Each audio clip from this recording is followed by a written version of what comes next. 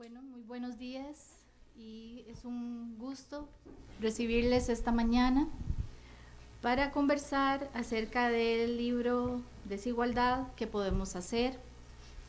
Nos acompaña en esta oportunidad el doctor Jorge Arturo Chávez Ortiz.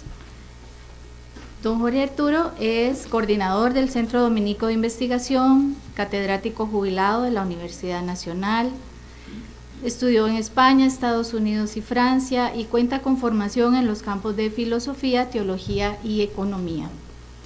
Trabajó por más de tres décadas en la Universidad Nacional, en docencia, investigación, incluso en administración académica.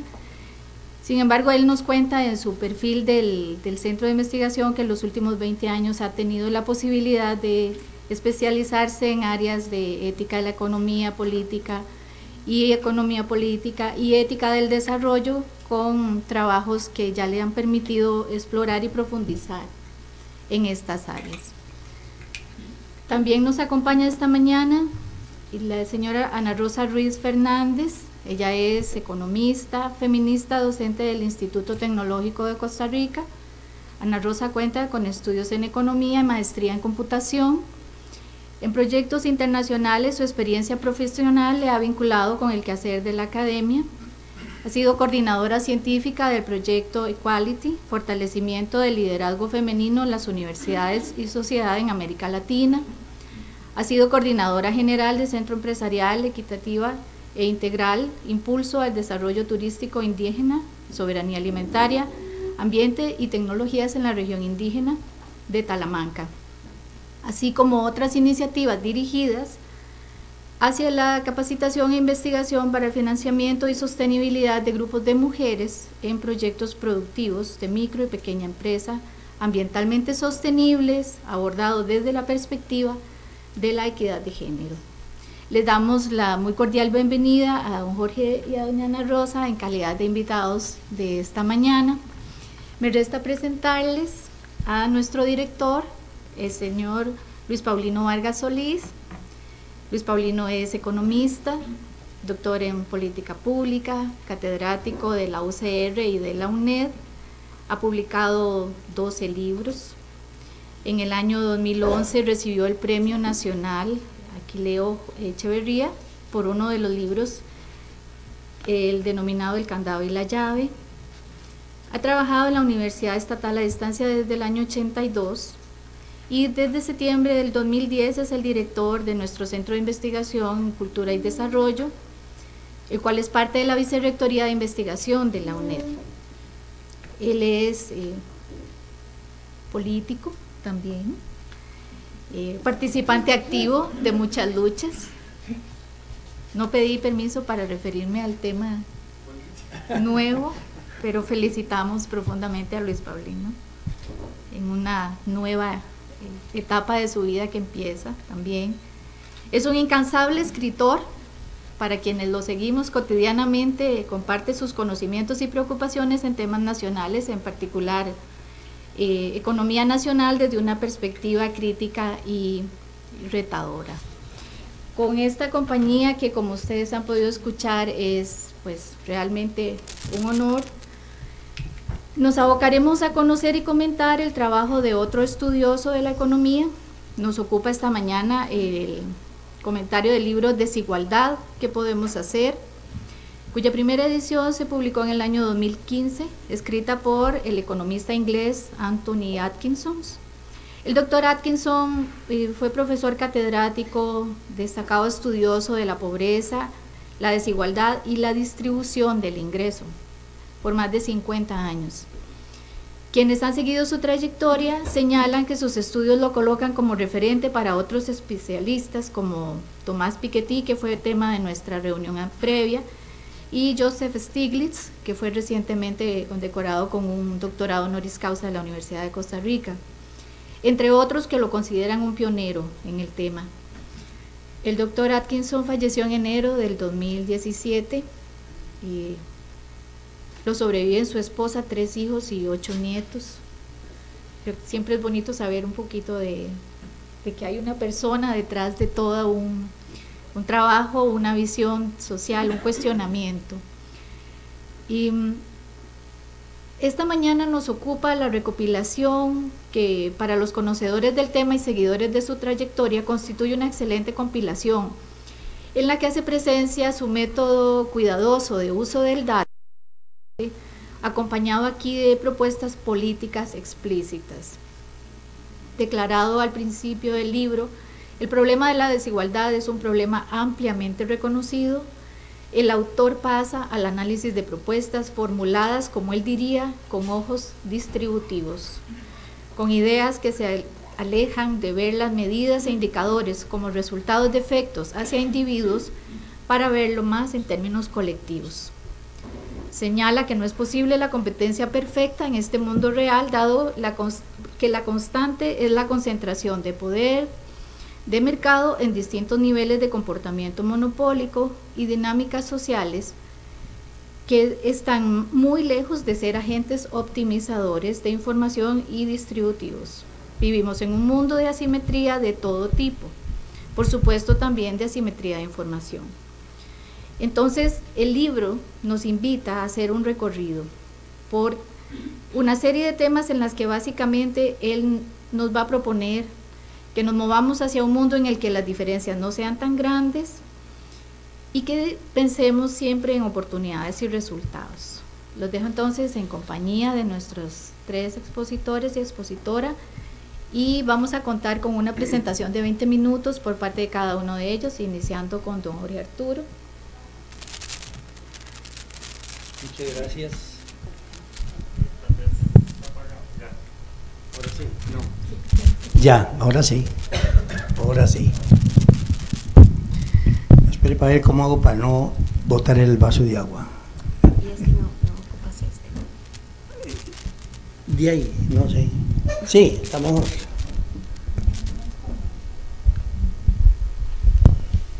Más cómodo, muchas gracias. Buenos días, muchas gracias por la invitación. Muchas gracias por la presencia de ustedes, algunos viejos amigos conocidos y otros por conocer, por supuesto. Eh, cuando uno conoce el currículum vitae, bueno, más que currículum, la trayectoria, que nos la ha recordado la doctora Rosibel, de un economista como el profesor Anthony Atkinson, uno, y ese uno soy yo, yo no, no embarco a nadie más, se podría sentir un tanto inhibido para atreverse a presentar el libro, ¿verdad? Eh, por varias razones. Quizás en parte por la tendencia inconsciente, bueno, eso es solo cuando uno es más joven, a pensar que la presentación de una obra uno tiene que afilar cuchillos para hacer una disección minuciosa de luces y sombras del, autor o de la obra. Ahora, de todas maneras, se necesitaría bastante carrera académica, que yo no tengo comparable, para analizar el, el pensamiento muy concentrado acá, muy sintetizado, de alguien, como ya dijo también el doctor Rosibel, como Atkinson, como el profesor Atkinson, que enseñó en la London School of Economics. Cuando uno oye eso, uno dice, hijo de piches, ¿verdad? Ya con solo eso. Y en la Nuffield College de Oxford, también Oxford a uno le suena como de miedo. Pero además, esto yo no sabía, ha sido miembro de la Academia Británica, presidente de la Real Sociedad de Economía, de la Sociedad de Econometría y de la Asociación Europea de Economía. Y yo me crié en Zampa Y entonces se comparara, eh, no, no, no tiene uno como... Eso. Bueno, sin embargo, uno puede tomar el libro, bueno, ya iba a decir antes, si yo veo a Fernando Marino, por supuesto Luis Paulino, pero bueno, ya aquí hay una gran confianza. Y yo me siento más bien ah, un poco... Eh, impresionado por, tener críticos así delante. Pero bueno, si uno toma un libro como este, que es como lo tomé yo, no con la pretensión de, criticarlo, sino de aprender, se bajan los temores inmediatamente. Además, porque es un libro para aprender. Eso es, em, yo por eso lo voy a volver a repetir, lo diré al final, Esta vez agradezco a Luis Paulino que me ha invitado mucho más que para Piketty, porque este me ha cautivado, este libro. Eh, y entonces uno, yo, me despierta el interés y yo diría que el entusiasmo por recorrer las más de 400 páginas que tiene el libro.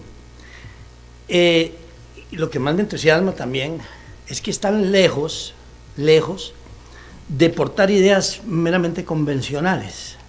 Tiene muchísimo de, todas las tradiciones, pero no, no es el... Eh, contrasta con libros de economía que conocemos todos y todas de, de del tipo de casi más que manuales, porque repiten más de lo mismo, más de lo mismo, más de lo mismo, y además no tienen eh, el, respaldo luego de la prueba empírica. sí, pues, eh, le agradezco pues a Luis Paulino y al CIRCE por su invitación a esta mesa, que me dio la oportunidad de disfrutar. La palabra la uso como tres veces en esta presentación eh, corta, eh, porque disfruté y no es... aquí entre nos, aunque ya lo dije la vez pasada, a Piketty no, no lo disfruté tanto. Y hay otros que definitivamente de los colegas economistas para nada disfruto, ¿verdad? En este caso me parece que lo disfrutarán todos ustedes y todas ustedes. En alguna parte, eso no lo tengo aquí escrito, pero en alguna parte él dice, tal vez eh, ustedes me lo recuerden, él dice que advierte a los que no son economistas que no va a encontrar una sola ecuación aquí, ¿verdad? La única es una X más Y que aparece, yo no me acuerdo en qué momento, ¿verdad? Y, cita a alguien que dice que cuando va a leer un libro de economía, no recuerdo a quién cita, dice que basta, es alguien famoso, que basta para ver una primera ecuación y la tercera parte de los lectores potenciales se retiran, ¿verdad? Eso es lo que, suele decir, ¿verdad? me acuerdo cuando yo presenté en Salamanca el, el libro ese mío, viejo de la utopía, las políticas económicas, vino una periodista y me dice, ¿qué? Pero mucha matemática, o por lo menos aritmética. Le digo, los números que va a encontrar son los de las páginas. Nada más. otro no. No, porque de verdad es... Bueno, empecé a disfrutarlo, ¿verdad? Empecé a disfrutarlo, pero, pero, pero, empecé.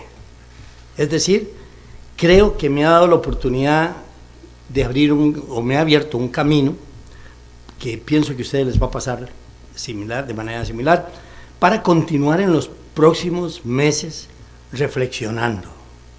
No solo sobre el complejo tema de la desigualdad, que ya eso lo merece, sino sobre todo, que es un poco la insistencia en, en esta presentación, la manera de conectar con lo económico, con lo político, con lo social y con lo cultural.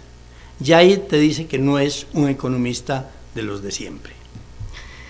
Solo voy a seleccionar aquí tres aspectos del libro para resaltar, por la limitación del tiempo, pero también porque sé que, que Ana y, Luis Paulino van a, de sobra a abordar con subtemas con más propiedad que yo. Es que además el libro tiene tantísimo contenido, ¿verdad? Porque es el enfoque teórico, es el, diagnóstico, eh, luego las propuestas, ¿verdad? y discute a, los que son alternativos, que eso lleva muchísimo tiempo. Y, pero sé que lo van a hacer los compañeros acá con más coherencia y precisión del análisis económico. Y van a poder evaluar o valorar, si no, no sé cómo lo van a hacer, pero la factibilidad de las propuestas que el autor eh, eh, plantea. Yo me voy a, a restringir a esos tres puntos que es lo que habitualmente la gente diría menos económicos. Como cuando yo daba un curso, eso lo he hecho muchas veces en la UNA, sobre Amartya Sen y me decían algún alumno, profe, pero eso es filosofía. Y además, filosofía. Bueno, Amartya Sen no sé qué hubiera dicho. Bueno, eh, tres aspectos. Primero, el primer aspecto se refiere a la capacidad poco frecuente de veras en profesionales de, la economía, la capacidad para ampliar y enriquecer el análisis económico. No es, no es cualquier cosa esto. Hace evidente la presencia de factores no económicos para explicar un hecho fundamentalmente económico o considerado fundamentalmente o principalmente económico. Solo a modo de ejemplo, eh, menciono la manera como enlaza con la dinámica social y política. No es una economía en el aire abstracta, histórica, como muchas que conocemos. Eh, sobre cómo enlaza con la dinámica social y política. Empieza mencionando, por ejemplo, no es que empiece el libro, pero yo estoy empezando, empieza mencionando cómo el análisis estándar, como lo llama él, del problema de la desigualdad se centra en dos factores determinantes, el cambio tecnológico y la globalización. Una cosa que suena muy simple, pero para mí esta afirmación es metodológica y epistemológicamente de gran importancia. Porque en cuanto se devela lo que podríamos llamar la trastienda del mundo de la apariencia, se empieza a ver que los problemas económicos no, no, son parte, no pertenecen a un mundo intocable, con leyes semejantes a lo que se ha llamado históricamente la ley natural.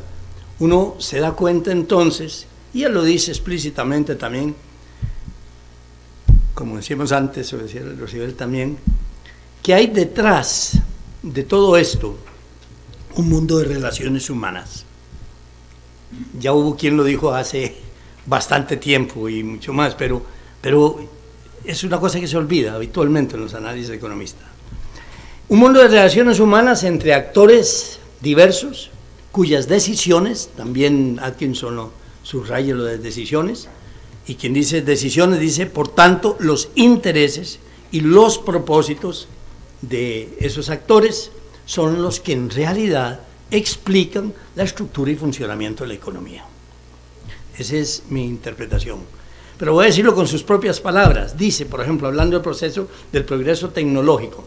El progreso tecnológico no es una fuerza de la naturaleza. Touché, que decían los pedantes, ¿verdad? Es excelente. No es una fuerza de la naturaleza.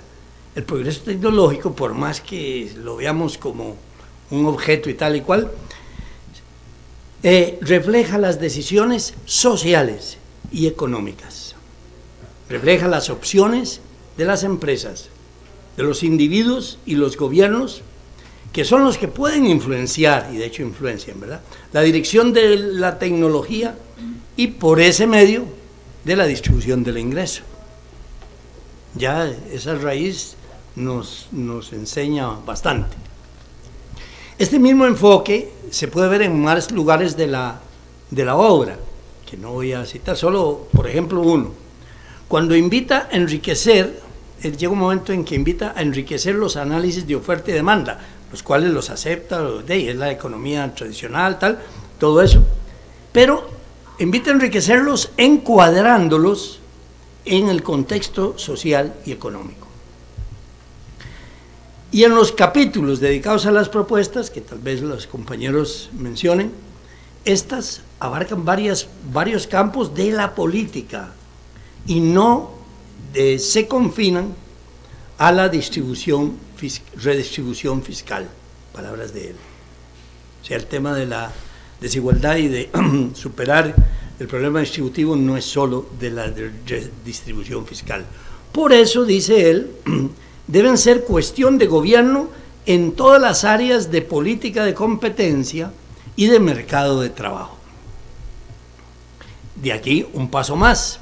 De aquí también se desprende la necesidad de descubrir, la frase es mía, pero está presente en el libro, la de descubrir la inmersión de lo económico en lo político, con la que conecta esa visión de lo económico y tecnológico como producto histórico que se encuentra detrás de sus explicaciones y sus propuestas.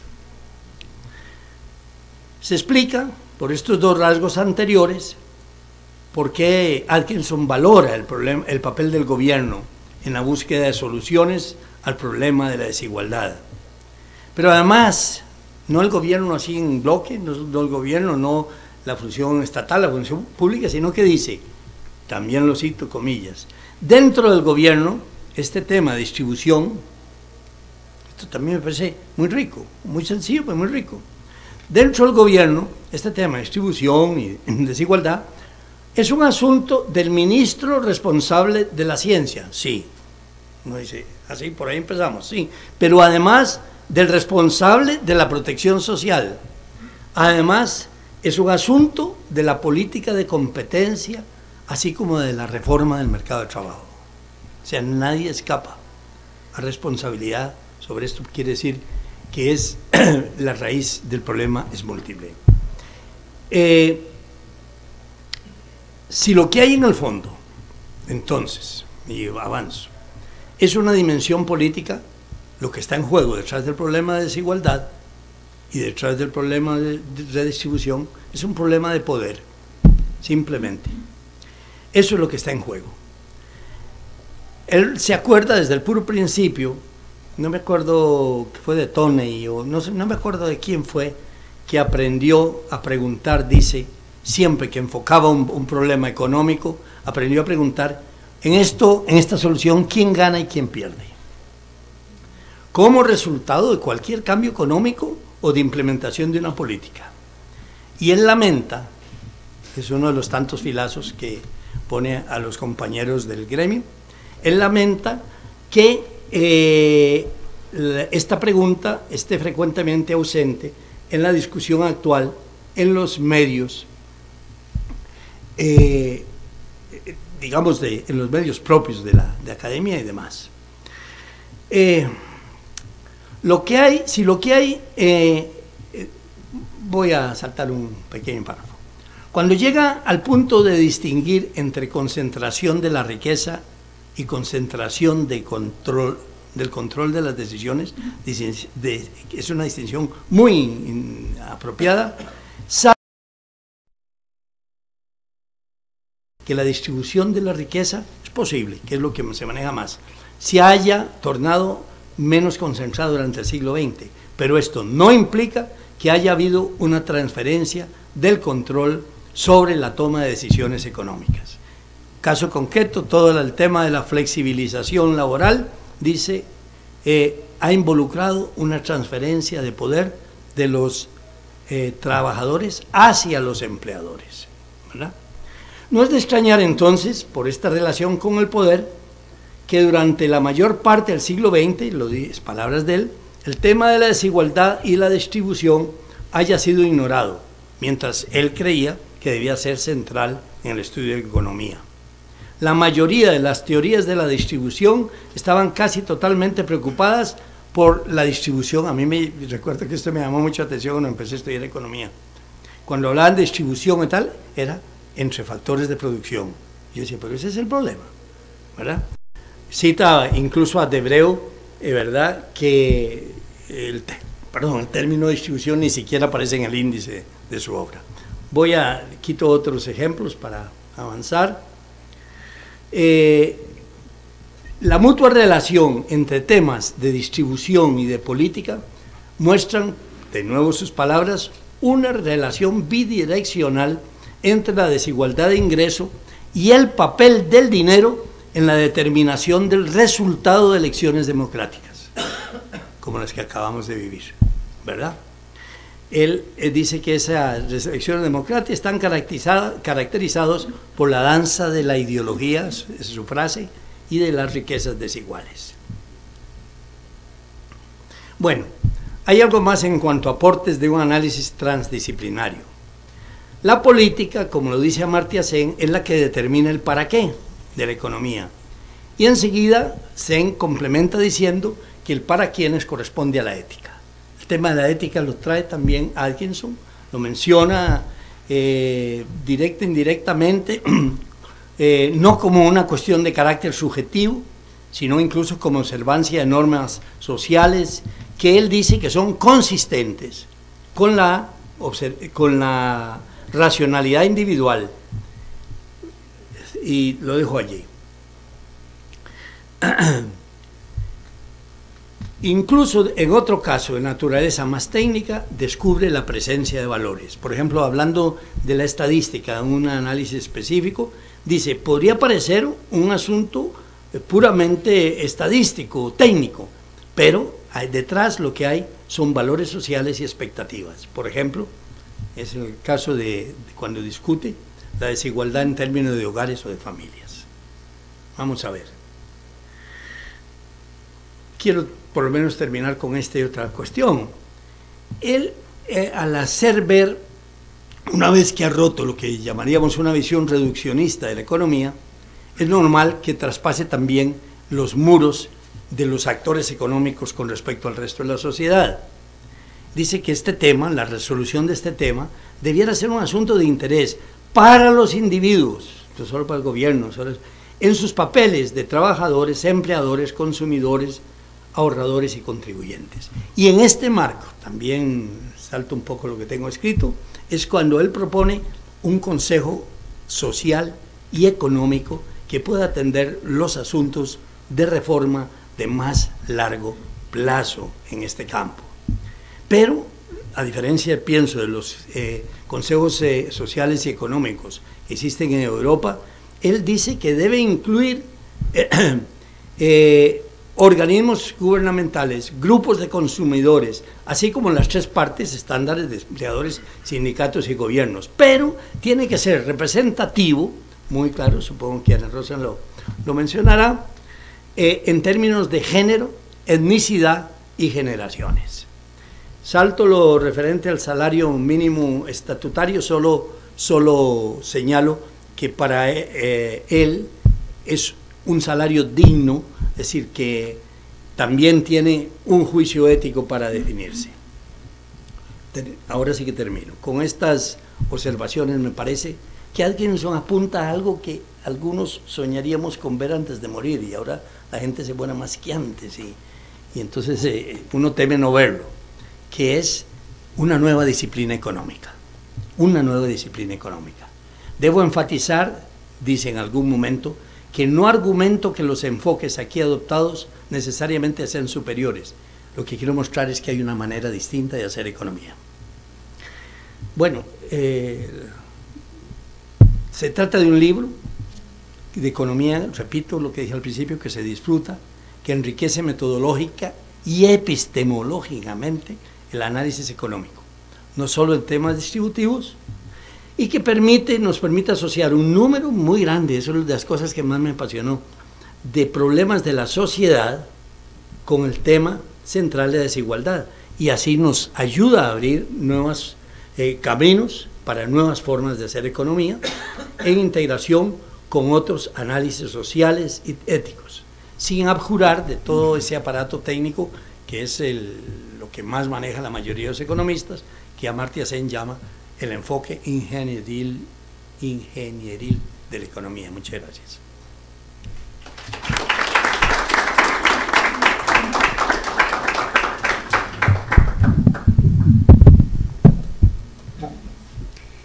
Muy buenos días. Muchísimas gracias a Luis Paulino por, por la invitación. Realmente, este, igual que con los comentarios y análisis de Jorge Arturo realmente fue disfrutar un, libro que mm, nos deja abiertas muchas posibilidades de, análisis. Em, eh, realmente este, eh, eh, es, de, es pertinente en esta coyuntura que estamos pasando en el, en el país, donde no es tanto buscar la mejor medida, para un equilibrio este, económico ni financiero, sino en a qué personas son las que estamos afectando y qué personas son las que estamos este, ayudando para seguir una tendencia de mayor concentración de la riqueza. Eh, yo voy a leer una, una frase del, del autor Atkinson que me parece clave este, porque desde ahí empezamos eh, enfrentando este, esta desigualdad. Él dice, la razón instrumental es con la que empezaré el capítulo. que el empleo es la ruta principal de los individuos y sus familias para escapar de la pobreza y para que las sociedades retomen a niveles más bajos de desigualdad. Justo, justo es esto lo que muchas mujeres y la lucha feminista y la lucha de mujeres ha perseguido. Un ingreso, la posibilidad a un ingreso justo y equitativo con gran conocimiento del tema, realmente impresiona todo su currículo, como este, lo expuso Jorge Arturo. Este, empieza este, con algo que para, para mí este, fue muy, muy significativo y es bajo qué concepción de, economía va a tratar el, el, este, el, este, este escrito, buscando, haciendo un recorrido histórico eh, utilizando y analizando mucho de lo que hemos constantemente cuestionado y es este, esas estadísticas, estos números que nos dicen este, que supuestamente son las bases para tomar decisiones políticas públicas y que al final vemos que siguen invisibilizando sectores. Desde el punto de vista feminista, este abordaje eh, nos da la oportunidad de evidenciar lo que la economía ortodoxa y neoliberal ha estado y sigue invisibilizando y son relaciones de poder. Relaciones de poder que excluyen este, roles y en este caso este, eh, eh, implantando siempre un modelo patriarcal que se impone a las mujeres. Mi exposición va a ser este, eh, sí, este, tratar de ir a algunos aspectos conceptuales y estadísticos este, para trabajar tres propuestas, a ver si hay posibilidades de tiempo, porque este, realmente este, uno quisiera como, como profundizar más, pero este, de las 15 propuestas que él realiza, tres es las que veo relación con los aspectos que yo este, voy a analizar. Em, él inicia planteando qué estamos entendiendo por desigualdad. Atkinson aborda, este, eh, como les decía, hace un, punto de partida que Jorge Arturo este, acaba de, mencionar y es que, este, plantea que las teorías de distribución estaban casi preocupadas, eh, casi totalmente este, eh, em, circunscritas más bien a, lo que antes era el énfasis de una distribución de factores y él trabaja una, una, distribución de, eh, una teoría de distribución. Solo esto este, eh, eh, es un avance significativo, importante, pero considero que en el análisis arrastra mucho de esa concepción de, de los factores. Uno de esos factores es el del trabajo una concepción de trabajo ligado a una lógica de mercado y en términos principalmente monetarios, donde otras formas de trabajo este, eh, eh, que se realizan están muy invisibilizados. Solo en este aspecto ya entramos en conflicto con este rol este, de las mujeres, dado que no es reconocido ni por la sociedad ni por la economía y menos por actualmente por las cuentas nacionales. Eh, este, a pesar de cierto avance de estas eh, estadísticas. Desde el punto de vista feminista, la incapacidad conceptual de las estadísticas para manejar este, una definición aceptable de trabajo y el interés de una sociedad patriarcal de mantener oculta la actividad de las mujeres. Aquí hay una invisibilización este, eh, histórica de la economía de la importancia económica de estas actividades en uno de los elementos que perpetúa las relaciones económicas y el poder que subyace a las desigualdades de género. Así lo ratifica el consenso de Quito, aprobado por todos los países de la región, al señalar que el valor social y económico del trabajo doméstico no remunerado de las mujeres es un asunto, em, es un asunto político público que compete a los estados, a los gobiernos locales, organizaciones, empresas y familias. Atkinson se pregunta, desigualdades entre quiénes y trabaja el concepto de hogar. y nos indica que dentro del hogar pueden haber distintas familias y dentro de las familias pueden haber distintas generaciones. Los miembros comparten equitativamente los recursos, abordan los niveles de dependencia de los hijos y tercera edad y reconocen que el cómputo puede subestimar la verdadera magnitud de la pobreza dado que supone que los recursos se comparten completamente.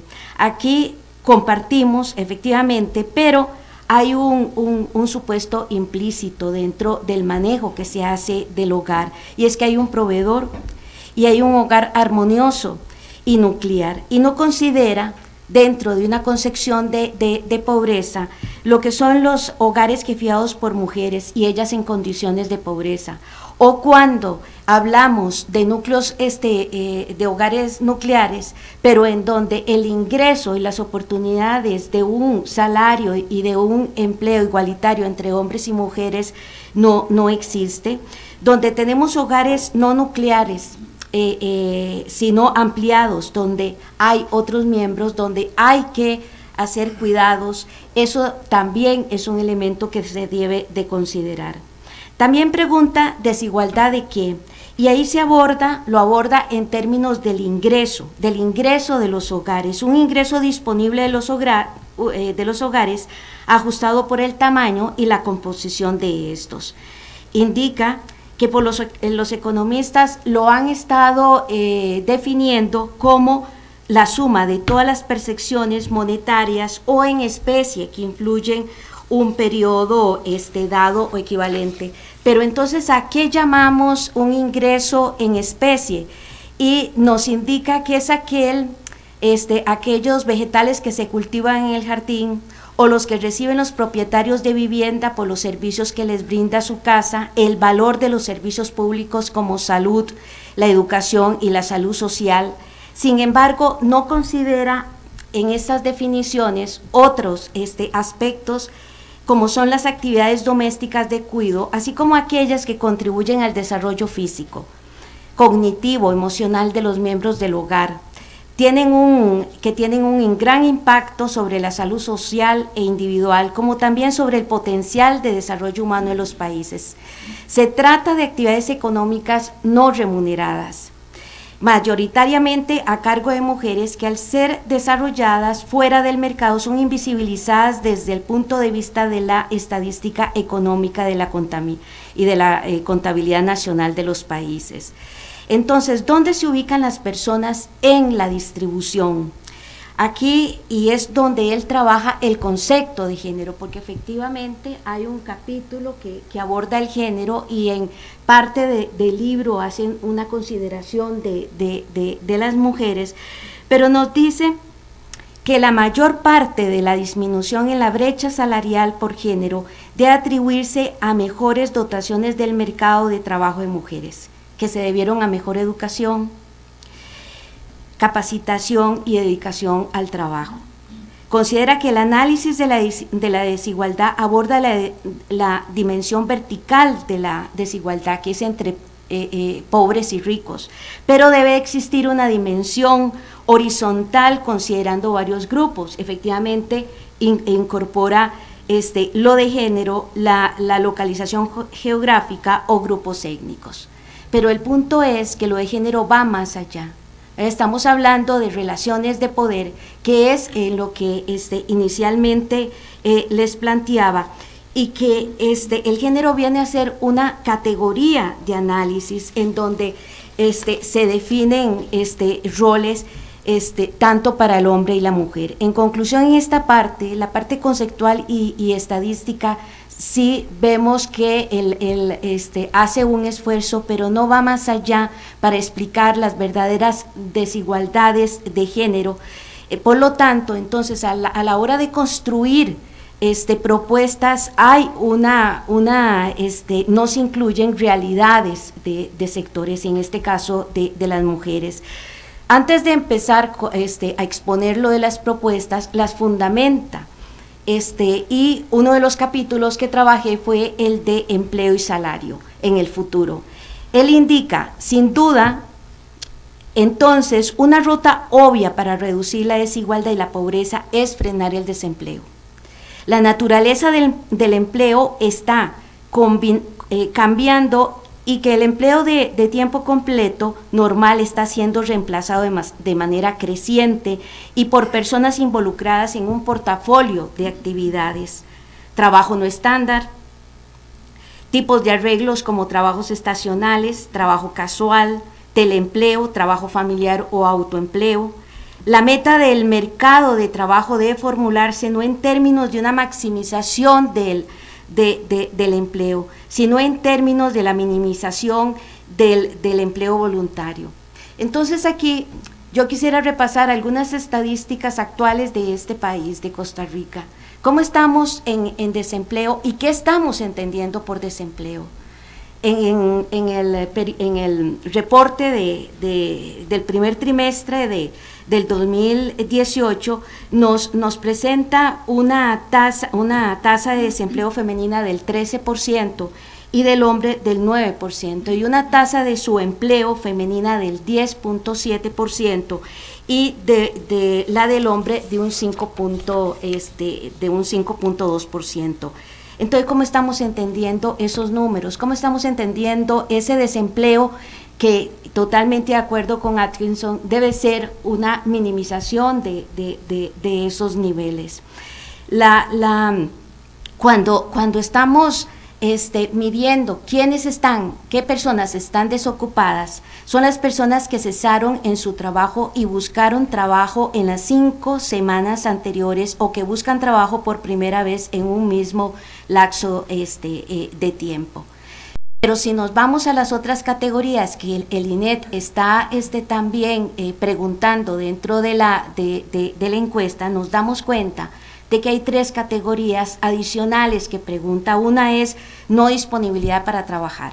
Aquellas personas que no desean trabajar con limitaciones de edad o discapacidad, con obligaciones familiares o personales, no disponible por enfermedad o por la época la otra categoría es la disponible con limitaciones, con interés de trabajar pero con limitaciones o enfermedad o accidente. Asiste a, centro de enseñanza, tiene obligaciones o personales o solo trabaja cuando se les pide.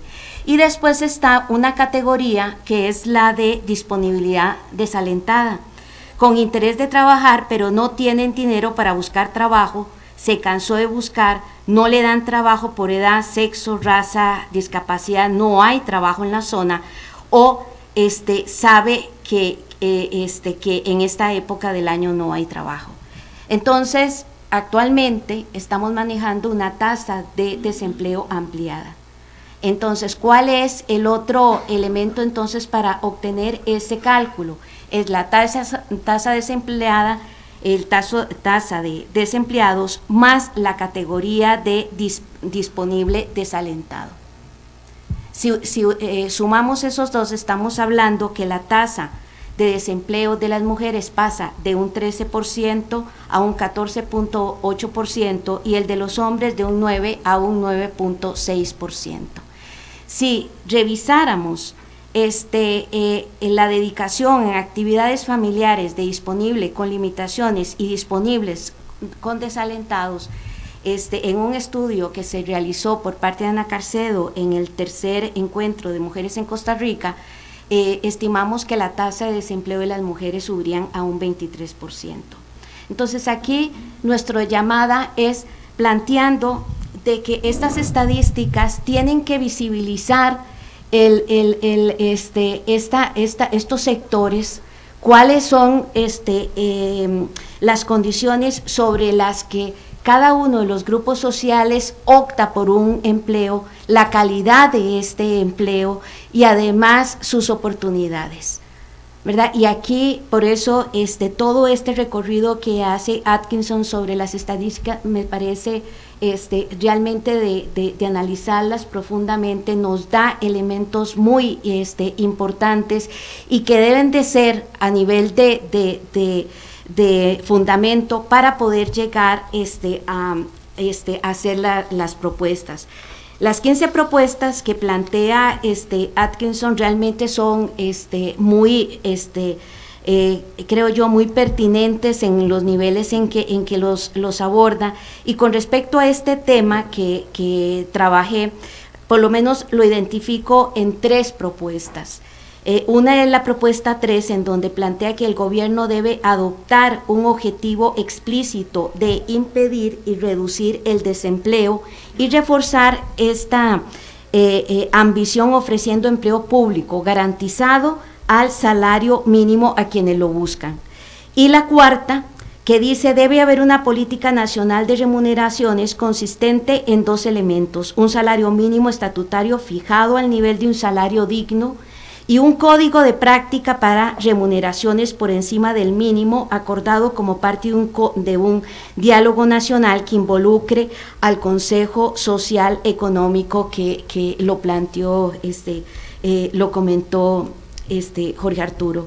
Aquí este, es muy interesante los ejemplos que pone Atkinson y sabemos que a nivel de, este, de este país se han hecho esfuerzos en ese sentido en términos de fijar un, salario mínimo que, viene desde 1933 y consolidado en, el este, en el 1950, pero estamos claros que hay un incumplimiento y general. ¿Verdad? No solamente a nivel de, del pago a las mujeres, también hay un incumplimiento en el sector privado de, del, salario, del salario mínimo. Y, y, estas dos propuestas, este, em, eh, al final lo que, lo que nos está este, proponiendo son también mecanismos de, una reflexión y cómo este, son medidas que tienen que ser a partir de la confluencia de diferentes sectores. Efectivamente, como lo planteó Jorge Arturo, el gobierno, organizaciones sociales, pero visibilizadas en cada uno de los sectores, movimiento de mujeres, movimientos rurales, movimientos eh, ambientalistas, que lleguemos a equilibrios en, todas, en cada una de, estas propuestas, y más cuando como este Atkinson lo planteó inicialmente, estamos hablando de uno de los accesos, el ingreso, que es lo que nos permite el poder este, lograr también una dignidad en, un ingreso y en un estándar de vida este, que, es lo que requeriríamos y lo que necesitamos para cada una de las personas en, el mundo. Y, no, y ver de qué manera podemos ir paulatinamente parando estas tendencias de la concentración de la riqueza este, eh, planteé otra propuesta, pero tal vez en las preguntas podría ampliar. Muchísimas gracias.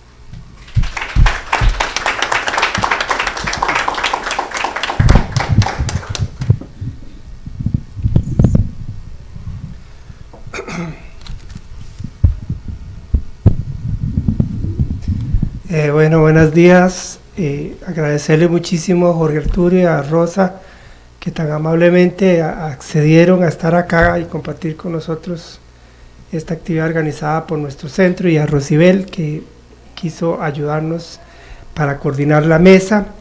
Yo rápidamente quisiera referirme a cosas que han dicho Jorge Arturo y, Rosa.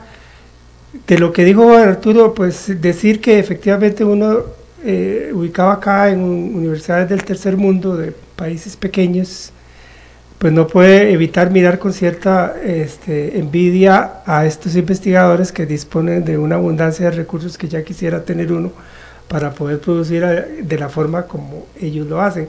Y lo que se me viene a la mente es que aquí en Costa Rica, aparte que los recursos son limitados, quienes estamos en ciencias sociales, ni siquiera se nos da espacio en la Academia de Ciencias, ¿verdad? No somos parte de la Academia de, Ciencias. Por ahí tienen, creo que un sociólogo o algo así, eh, que viene siendo así como una especie de muestra curiosa, una, curiosidad que quieren tener ahí para saber que esas curiosidades de las ciencias sociales efectivamente existen. Yo creo que este, hablando de desigualdades, esto también refleja desigualdades en el campo, en el campo del hacer científico acá en nuestros países, donde a las ciencias sociales se nos niega sistemáticamente el lugar que deberíamos, que deberíamos tener. Eso punto uno. Punto dos, sobre lo que aportó Rosa, que me parece riquísimo, eh, tremendamente interesante.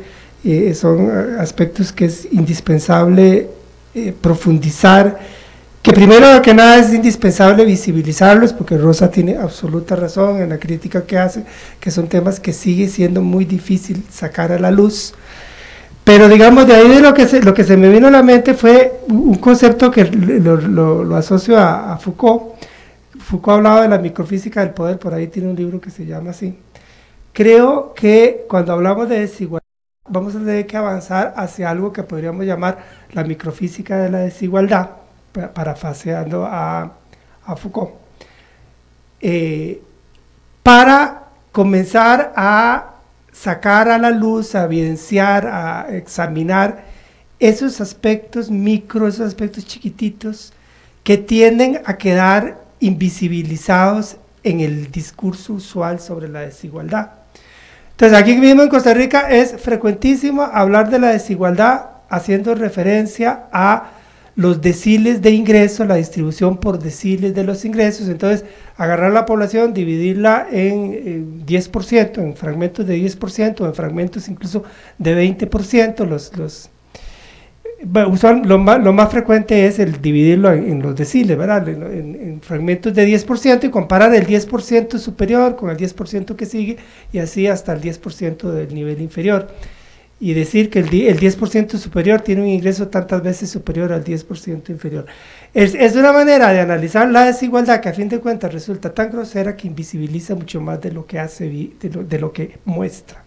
Sea, lo que ahí está invisible es muchísimo más de lo que no se está viendo. Incluso por el hecho de que no es lo mismo ser parte del 10% de ingresos superiores que ser parte del 1% de ingresos superiores y mucho menos que ser parte del 1 por mil por ciento, perdón, del 1 por mil de ingresos superiores. O sea, las diferencias que puede haber entre sencilla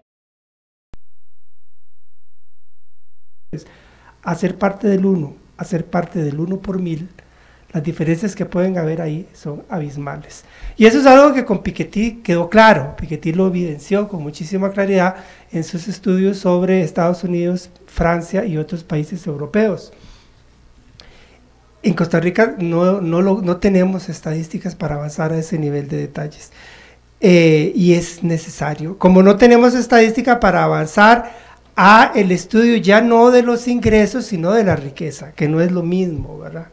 No es lo mismo cuánto es lo que a mí me ingresa por mes o por año, que cuánto es la riqueza que yo tengo en mi poder, que yo controlo. Riqueza entendida como casas, hablemos de la gente muy privilegiada, que hay gente que tiene muchísimo, que es muy rica. Bueno, esa gente que tiene mansiones en San José, en la playa, en la montaña, en Miami, que tiene yate privado, tal vez jet privado, acciones en empresas, en bonos del gobierno, en certificados de inversión, en lo que ustedes quieran, en pinturas de, de pintores famosísimos. Vale un ojo a la cara, eso no sabemos. En Costa Rica no tenemos la menor idea de cómo está distribuida esa riqueza, así pensada. Entonces tenemos que profundizar en esa microfísica del poder que tiene que ver muchísimo con el género y tiene que ver con otras formas, digámoslo así, con otras desigualdades que se dan dentro de la desigualdad misma. ¿verdad? Pues hablamos de la desigualdad en general, pero resulta que dentro de esa desigualdad que tanto nos preocupa hay un montón de otros cortes otros cortes verticales y horizontales donde aparecen otras manifestaciones de desigualdad que raramente sacamos a la luz, ¿verdad? Raramente sacamos a la luz, raramente se toman en cuenta. Eh, toda la invisibilización del trabajo de la mujer en, en el hogar es parte de esa realidad, toda la insuficiente consideración que se hace de la mujer sola, jefa de familia, es también parte de esa cuestión. Pero a veces también yo lo he comentado, como hombre gay que soy yo, ¿verdad? En Costa Rica nadie tiene idea de lo que significa ser un muchacho gay que trabaja en, el, en, el, en, la, en la industria de la construcción. Y yo estoy seguro que es una de las cosas más difíciles en este, en este país, en, este, en esta sociedad nuestra. Ser un muchacho homosexual de 25 años que se tiene que desenvolver en un ambiente terriblemente masculino, de una masculinidad tóxica y homofóbica. el, nivel el tipo de desigualdades que ahí se manifiestan son especialmente violentas. Yo digo la industria de la construcción, podríamos hablar de muchas otras áreas, del quehacer económico de nuestra sociedad. Bueno, eso era una consideración que me surge después de haber escuchado a Jorge Arturo y particularmente el planteamiento de Rosa. Rápidamente yo quisiera hacer una comparación entre Atkinson y Piketty, no puedo evitar hacerla, ¿verdad? Eh, ¿Cuál es la gran diferencia que yo creo detectar entre Atkinson y Piketty? Hay varias diferencias muy grandes entre ambos autores. Eh, fundamentalmente yo siento que el el planteamiento que de Piketty, que lo hizo famosísimo mundialmente, ¿verdad? Es, tiende a ser un planteamiento con una dosis de mecanicismo muy fuerte. Piketty, en su libro, incluso el título del libro es muy, muy pretencioso, El capitalismo en el siglo XXI, es como se titula el libro de Piketty. El título del libro de Atkinson es mucho más modesto y aterrizado, ¿verdad? Desigualdad, ¿qué podemos hacer, verdad?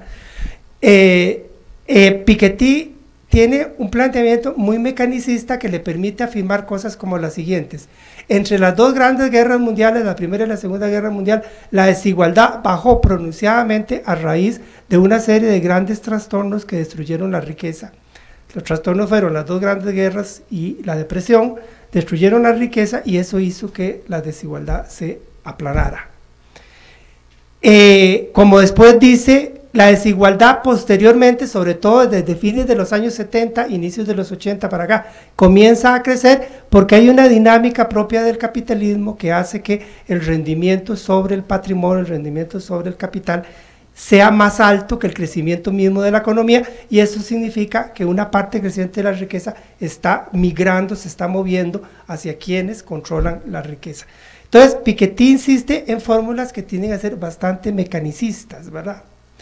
En Atkinson uno no encuentra eso, en Atkinson es mucho más un planteamiento aterrizado en las sociedades concretas en las cuales vivimos, un planteamiento que con las limitaciones que pueda tener, como ah, Rosa lo, ilustró de una manera muy lúcida, muy clara, con las limitaciones que pueda tener, sin embargo, es un planteamiento que parte de reconocimiento de que esencialmente detrás del problema de la desigualdad hay un problema de relaciones humanas, de relaciones sociales, de relaciones de poder, y que tener en cuenta esas relaciones de poder es esencial para, tener para poder entender el fenómeno de la creciente desigualdad y para finalmente poder enfrentar el fenómeno de la desigualdad y poder tener algún éxito en, en, tratar de combatir esa desigualdad y en tratar de reducirla. Entonces, digamos, esa es una diferencia fundamental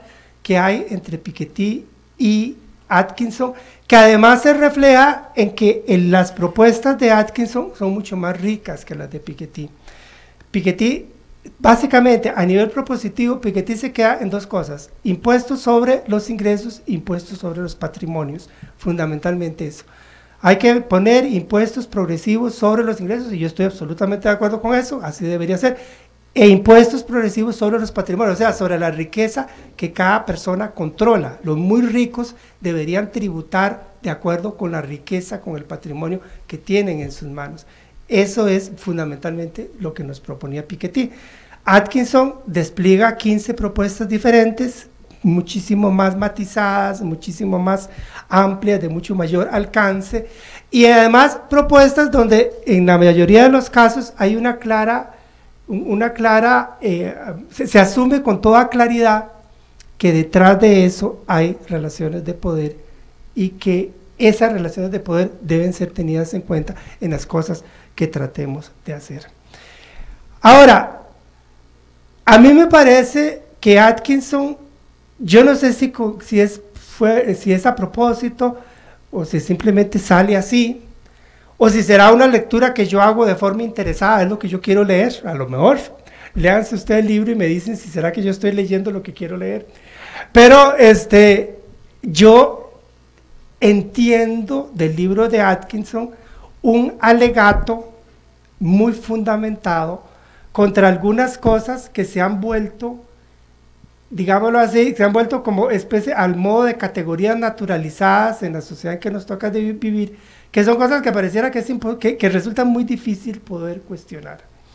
Porque fundamentalmente el, discurso neoliberal, que, tiene sus altos y sus bajos, hace un tiempo estaba como de bajas, ahora anda otra vez subiendo y, agarrando agresividad y volviendo a, a, querer instalarse como discurso único. Pero ese discurso neoliberal fundamentalmente le dice a uno, vean, hay ciertas fuerzas que nadie puede detener. Esas fuerzas son las del cambio tecnológico, las de la revolución tecnológica y las de la globalización. A usted le quedan dos opciones. O usted se adapta, o, eh, pues dicho de otra forma, o usted se monta en ese tren, o el tren lo deja botado, ¿verdad? Si es que el tren no lo aplasta, más bien, ¿verdad? No, no simplemente lo deja botado, sino que lo aplasta. El discurso neoliberal funciona mucho así. La hegemonía neoliberal se ha construido mucho sobre esa base de decirle, bueno, el, famoso Tina de, Margaret Thatcher, el There is no alternative, que fue una, una, frase que Margaret Thatcher popularizó. O sea, no hay alternativa, el no hay alternativa de Margaret Thatcher de, de inicios de los años 80. Ese no hay alternativa, ha tenido sus altos y sus bajos a lo largo de estos 35 años, pero últimamente está de nuevo agarrando fuerza. Y aquí en Costa Rica lo vemos que está agarrando muchísima fuerza. Ese no hay alternativa. Bueno, Atkinson nos dice, sí hay alternativa y tenemos que partir del cuestionamiento de que ni la globalización ni el cambio tecnológico son fuerzas de la naturaleza que se imponen de manera inevitable. Incluso una de sus propuestas de partida, entre el, conjunto de propuestas que formula, una propuesta de partida es tenemos que trabajar en la orientación del cambio tecnológico. Y él lo ilustra para, para mostrar cómo ninguno de los grandes avances tecnológicos de los últimos decenios, ninguno ha sido sencillamente el fruto de, algún genio empresarial eh, que, que, concibió aquella innovación tecnológica, la puso en práctica y la convirtió en un gran negocio. La gran mayoría de las veces, si no la totalidad de las veces, detrás ha habido usualmente grandes inversiones públicas que en una etapa posterior han fructificado en algún avance tecnológico importante. Y eso vale lo mismo para Internet que para los teléfonos celulares, etcétera, para cualquiera de los avances tecnológicos más importantes de nuestra época. Entonces partimos de ahí. Y a partir de ahí vienen las propuestas de, Atkinson, que por cuestión de tiempo, pues yo no voy a extenderme mucho, excepto quizá destacar algunas cosas que a mí me parece, yo no sé cómo voy con el tiempo. Me faltan como 45 minutos todavía. me quedan 10. Ok. Eh, algunas cosas que yo quisiera destacar de manera especial entre las propuestas de de Atkinson porque yo siento que pueden ser especialmente relevantes para la Costa Rica de este momento.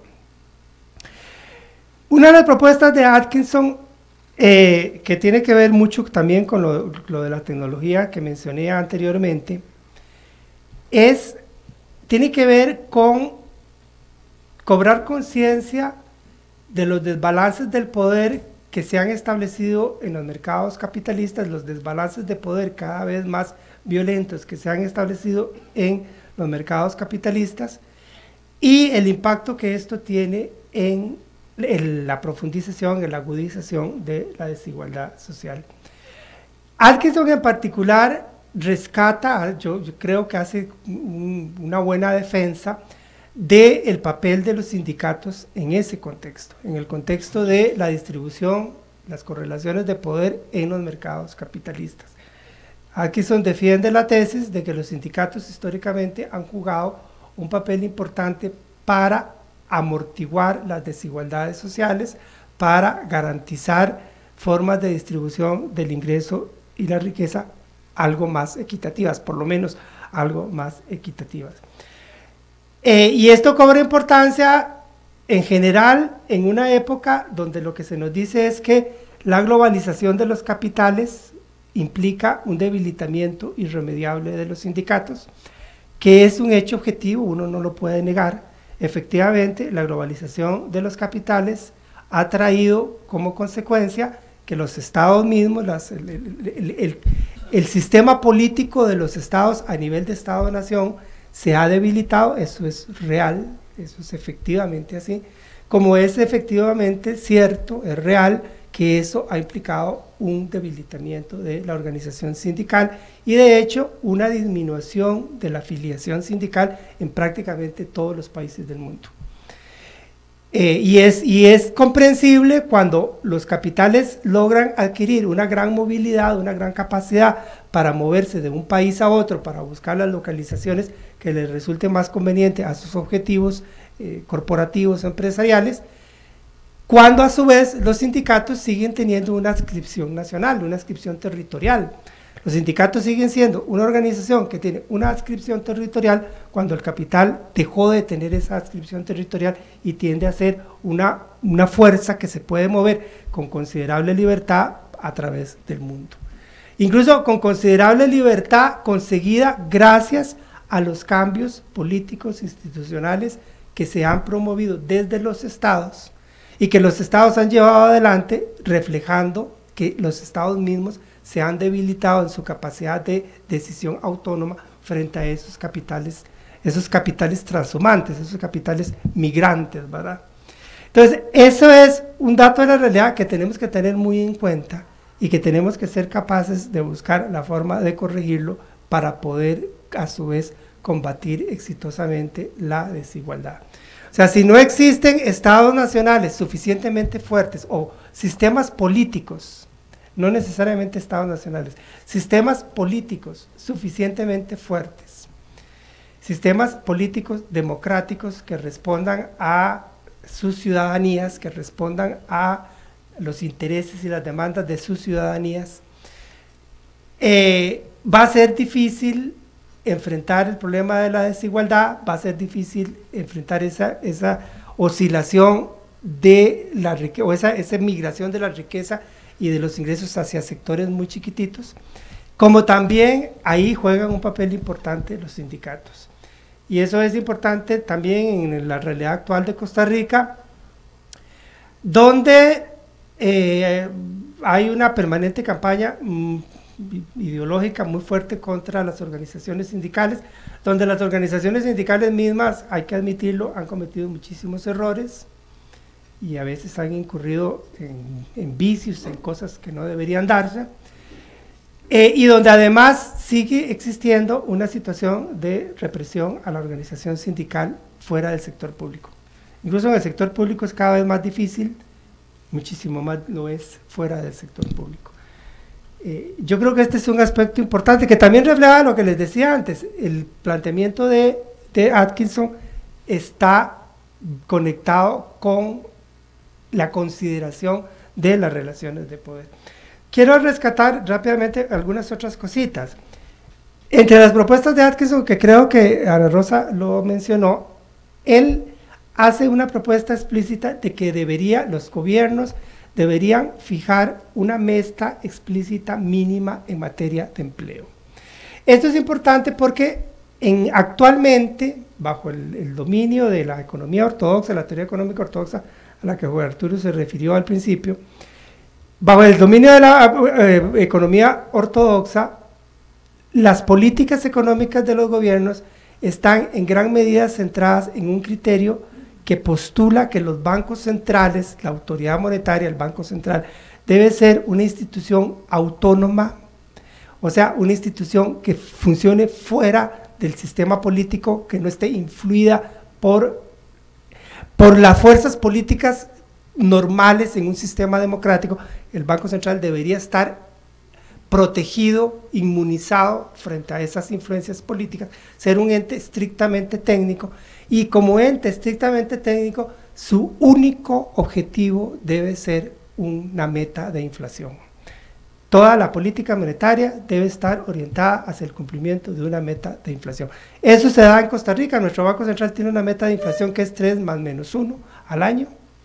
Y si ustedes se van a Estados Unidos, a Europa también, en Europa y en Estados Unidos la meta de inflación es 2% al año.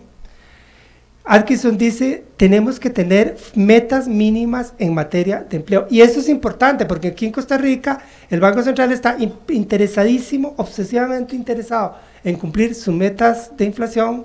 El establishment de los economistas de Costa Rica respaldan esa idea con gran pasión Y a nadie le importa, pero ni un rábano, la situación del empleo. Ana Rosa ilustró excelentemente la diferencia que se da en los índices de desempleo y subempleo entre hombres y mujeres. Podríamos irnos a los datos sobre informalidad laboral, que son terribles, y ahí también se nota la diferencia entre hombres y mujeres. Podríamos irnos a los datos de tasa de ocupación, o sea, el porcentaje de la población en edad de trabajar que realmente está en edad de trabajar, voy a ponerlo así, en edad de tener un trabajo remunerado fuera del hogar para tener presente que también hay un trabajo no remunerado dentro del hogar. Entonces, la población, eh, población en edad de trabajar en un trabajo remunerado fuera del hogar, en Costa Rica ese, el porcentaje de esa tasa de ocupación es solo 51%, que es tremendamente bajo.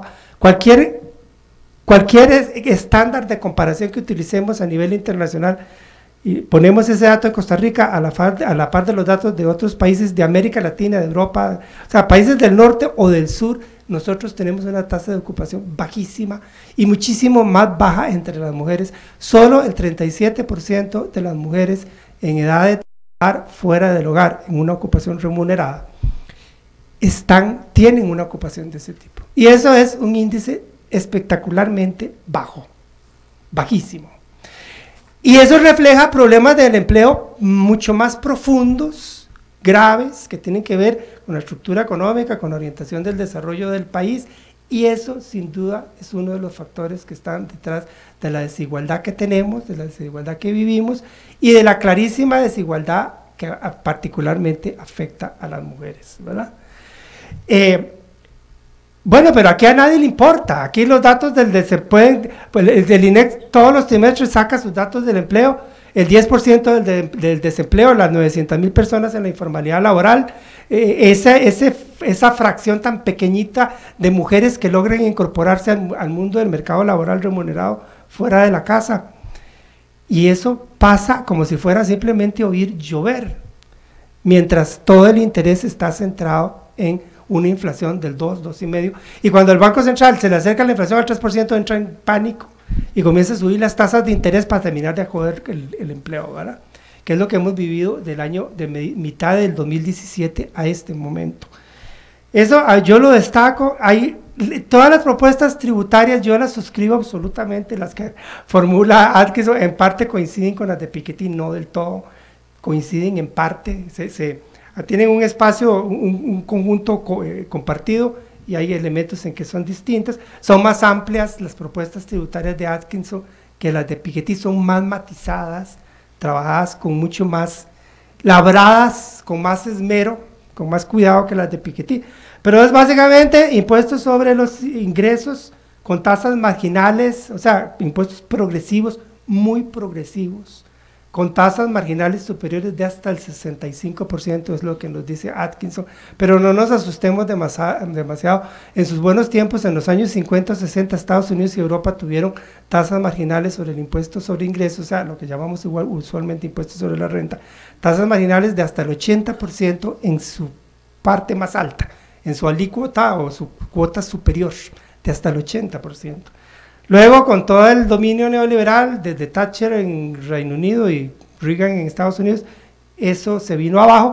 Hoy día la tasa corporativa, la tasa sobre los ingresos en Estados Unidos es del 35%, la tasa corporativa era del 39%, pero Trump acaba de bajarla al 21%, ¿verdad? Para tratar de convertir a Estados Unidos en una especie de gigantesco paraíso fiscal, porque de alguna manera hacia eso lo, lo está moviendo Donald Trump. Eh, bueno, esa es una de sus propuestas, impuestos sobre las herencias para tratar de romper el mecanismo de transmisión intergeneracional de las, de las desigualdades. Si no se graban las grandes herencias, es imposible romper ese mecanismo que hace que de generación en generación las desigualdades se perpetúen. Pero la propuesta de Atkinson es mucho más elaborada, mucho más matizada, que la de Piketty, la de Piketty era como más groserilla en, la forma como lo planteaba, e impuestos sobre la propiedad, lo que Piketty llamaba impuestos sobre los patrimonios, que también debería ser un impuesto progresivo, y ya con eso termino, ¿verdad? Porque se me va tiempo. Yo lo, lo que quisiera destacar ahí es que esto se vuelve tremendamente actual cuando tenemos en la Asamblea Legislativa un proyecto de reforma tributaria que es de alguna manera la negación de todo esto. Es una clarísima negación, en su mayor parte, excepto algunos detallitos pequeños, es una negación de esto. Y cuando uno lo plantea, lo que le contestan es, vean, es que estamos en una emergencia fiscal, hay que hacer esto ahora porque no nos queda otro remedio más que hacerlo ahora. Ya habrá tiempo para que entremos en eso, pero nunca hay tiempo para que entremos en eso dejémonos de cuentos, nunca hay tiempo para que entremos. Y estas palabras que acabo de repetir, yo se las oí así, cara a cara a doña Epsi Campbell, ya en ese momento vicepresidenta electa, todavía no había asumido, fue después de del, balotaje del primero de abril, pero así, en estas palabras casi textuales, doña Epsi me, contestó a mí, ante un cuestionamiento mío, me contestó eso, ¿verdad? Siendo ya vicepresidenta electa. Sí, ese es nuestro cuento, ¿verdad? Tenemos que aprobar esto por la emergencia, Después, pero ese después no va a venir nunca, y seguimos completamente desentendidos, porque en el fondo eso es, desentendido de los problemas terribles del empleo y de los problemas de desigualdad, que no, no, son causa, que, que, la causa de la desigualdad no está de ninguna manera tan solo en el, desempleo, en el empleo, no, el empleo es un factor entre algunos otros, eh, pero, sin, pero sí están, están vinculados. Bueno, oficialmente no hay Oficialmente está descartado, está fuera de la agenda esos otros temas y el libro de Atkinson, pues simplemente uno se pone a leerlo y uno dice, pues sí, pues esto es lo que estamos necesitando en Costa Rica, pero ¿cuándo carajos vamos a poder avanzar? O, necesitando con todas las adaptaciones que sean necesarias, por supuesto, pero ¿cuándo carajos en este país vamos a poder avanzar hacia esto? ¿O es que resignarnos que yo no me voy, puedo resignar, ni, ni me voy a resignar nunca a una sociedad más desigual, eh, una, una sociedad cada vez más desigual. Gracias.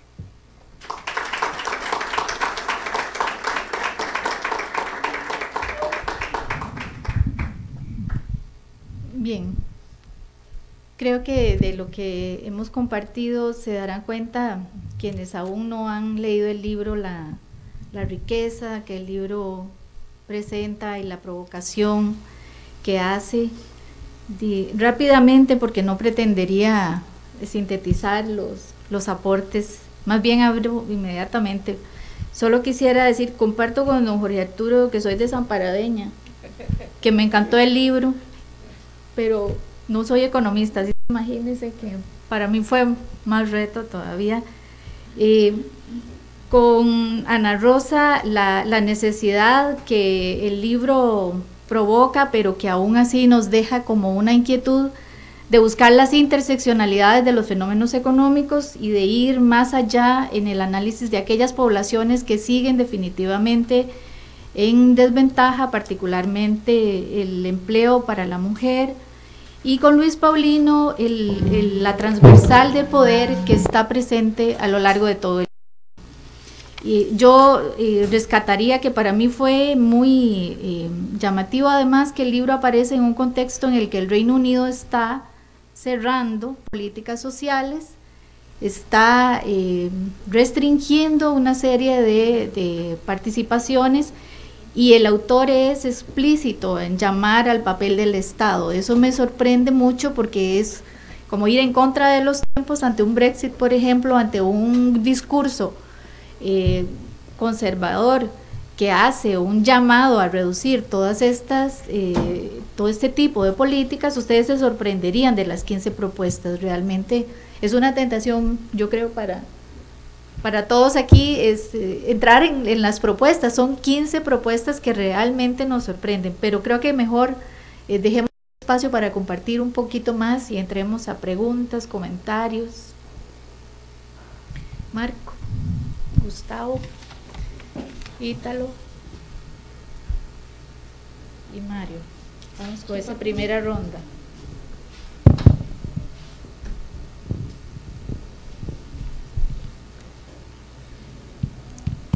Muchas gracias, qué dicha que nos dimos el permiso de venir a dejarnos carbonear.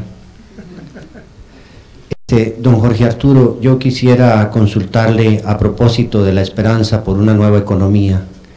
¿Por dónde la empezamos? ¿Cuál es el primer renglón en el que tenemos que poner el dedito y no soltarlo hasta llegar al final? por dónde podemos empezar esa nueva forma de hacer economía. A Ana Rosa yo le agradecería mucho que pudiera referirse a la otra propuesta que no le dio oportunidad de, compartir, pero además eh, en un enfoque de economía feminista, el papel de la economía del cuidado como un pilar de esa nueva economía a la que podríamos aspirar. Eh, Luis Paulino, los sindicatos, ¿cómo hacemos para recuperar la importancia, el papel de, de los sindicatos? ¿Cómo le damos un nuevo aire y una nueva oportunidad? y de repente me gustaría conocer su punto de vista a propósito de plantear una propuesta de nueva estructura tributaria que trascienda eh, la postración por el déficit fiscal y por las finanzas públicas y que permita mover ese debate sobre el impuesto sobre la renta, a las herencias, al patrimonio. Y muchas gracias por esta oportunidad.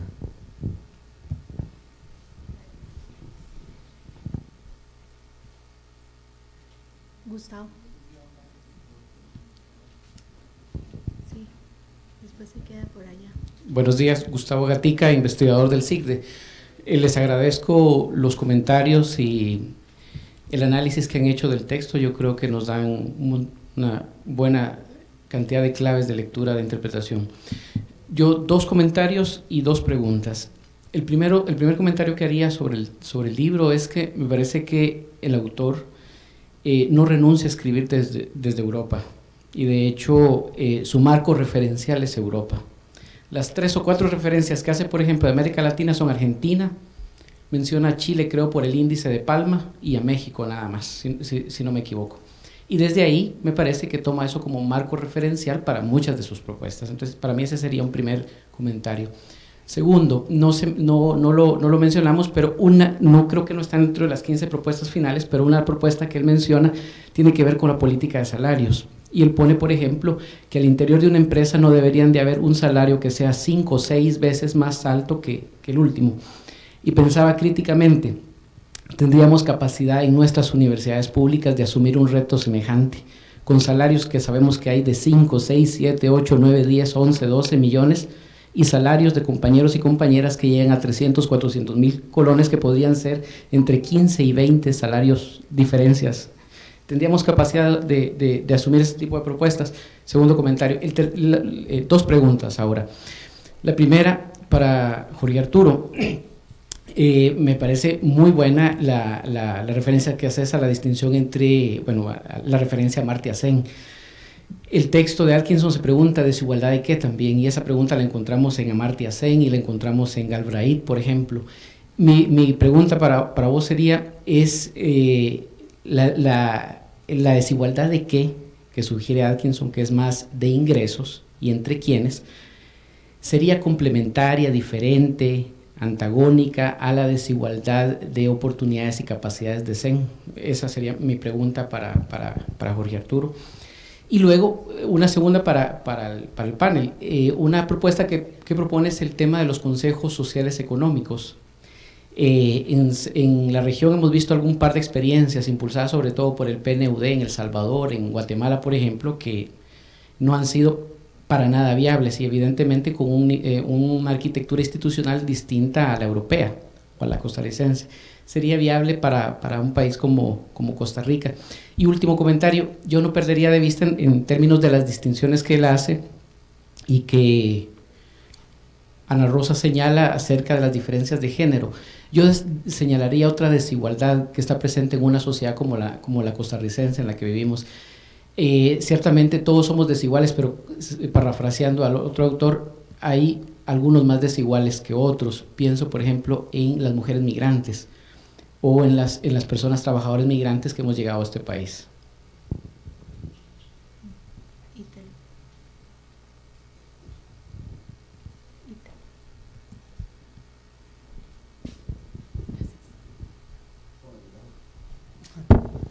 Sí, muy buenos días. Gracias por el. Eh, Italo Fera, sociólogo y jubilado, exfuncionario de la UNED. Y me alegra muchísimo que existe y nos siga convocando y siga haciendo este tipo de, de, invitaciones. Me hubiera encantado tener aquí a unos 20 de Busco y a otros 10 de Pachajusta y a otros 10 de las centrales sindicales, ¿verdad? Y que pudiéramos haber sido contados y llenado este auditorio. Parte de lo que me guío un poquito con lo que ya se le planteaba a Paulino, eh, cómo trabajar este tema en el movimiento social y movimiento sindical y efectivamente cómo nos podríamos orientar a un proceso de discusión, de análisis, de educación sindical de estas características, ayudados con la Fundación Frederic Sever, ayudados con la Internacional de Servicios Públicos, ayudados por la academia, ayudados por diferentes actores que podrían estar interesados en esto, ¿verdad? Entonces, como para ir implementando unas acciones concretas que nos permitan ir abordando el reposicionamiento de actores como el movimiento sindical y el movimiento social. Y efectivamente eh, yo coincido y me gustaría oír los de la mesa hablando sobre esta jugosa tercera parte del autor, en donde no solo dice lo que puede hacerse las propuestas en la segunda, sino cómo considera él que puede hacerse. Y me interesa mucho porque efectivamente en esta discusión el arribo neoliberalista y los nuevos ascensos neoliberales en Costa Rica siempre se plantean el tema de la correlación de fuerzas. Entonces resulta que en la correlación de fuerzas estamos siempre en desventaja y lo orientan hacia un tema eminentemente político y de toma de decisiones. Entonces, efectivamente, ¿cómo podríamos abordar esto desde un cambio en la correlación de fuerzas y cómo podríamos abordar esto para efectivamente desarrollar un planteamiento eh, estratégico y táctico que nos permita acumular la fuerza necesaria para hacer los cambios que ahí el, autor eh, Atkinson eh, nos señala. Él dice, es costeable, sí es costeable, y habla de los costeos que tiene esto y que podrían ser asumidos, eso es en la parte económica cuantitativa, pero en esa otra parte cualitativa política de la viabilidad y de la construcción de las correlaciones de fuerzas, pues nos quedamos siempre con la gran pregunta, ¿no?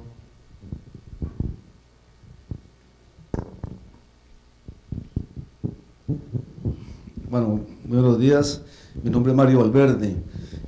Lo primero que tengo que decir es que no he leído el libro, así que tengo que preguntar por las exposiciones me interesó mucho lo, lo que dijo Ana Rosa sobre salario digno y, salario mínimo. Es un tema interesante. Este, yo conozco una mujer que, que atiende a, sus hijos, a los hijos de los hijos y a hijos de vecinos. ¿Cuál será el salario digno para, para una mujer así? Digo esto porque estamos en un momento en que, por el contrario, intentan atacar, digamos, los, los salarios eh, en estos momentos. O sea, prestar anualidades, dedicación exclusiva, ¿verdad? Todo es, es, bajar y bajar y bajar. Pero por otro lado, como se mide, digamos, en la empresa privada es, es con, con, el salario mínimo. Ahí no hay más que salario mínimo, ¿verdad? Los que alguna vez hemos trabajado en una empresa privada, sabe que tiene salario, eh, cubre lo que es inflación y con permiso, ¿verdad? No es como en la parte en la parte, en la parte pública.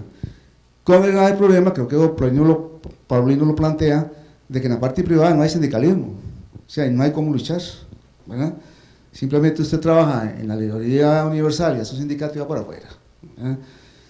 Entonces, este, eh, ¿cómo, ¿cómo, podemos plantear ese, ese, Ana Rosa, ese concepto de, salario digno, ¿verdad? Que a mí, claro que me suena muy bien, pero ¿cómo, cómo, cómo, cómo sería la construcción? Y lo otro de Paulino, sí, yo creo que daría para una mesa sobre el tema del sindicalismo. Sí, Paulino tiene razón, algo está pasando con el sindicalismo. Este, los que hemos estado metidos mucho tiempo en este tema del sindicalismo, este, sabemos, o, Paulino dice, o se globalizó la dirigencia sindical, o se capitalizó la dirigencia sindical, o es que los afiliados también se capitalizaron, ¿verdad? Y hay una gran desidia también a la hora de, las grandes luchas, pero creo que eso daría como para una mesa totalmente aparte. Muchas gracias.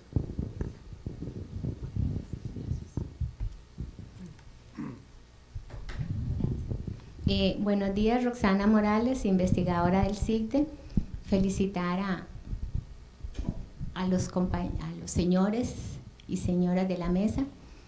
Y bueno, igual que Mario, no he leído el libro, sin embargo, creo que convoca definitivamente el título del, del autor, el título del libro, ¿Qué podemos hacer? Y yo creo que ahí, desde la formulación del título, es de acceso, es, es de darnos a todos y a todas la oportunidad de involucrarnos y de también que de ser partícipes.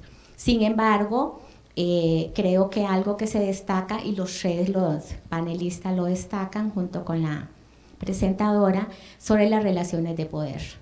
Y definitivamente las relaciones de poder hay múltiples formas, estrategias de dominación y en la medida que haya dominados, dominadas, siempre estará ¿qué? El que ejerce el poder, si lo permitimos. Y entonces ahí es donde definitivamente me llama la atención de la exposición que hacen ustedes acá. El análisis es el papel del Estado, ¿ya?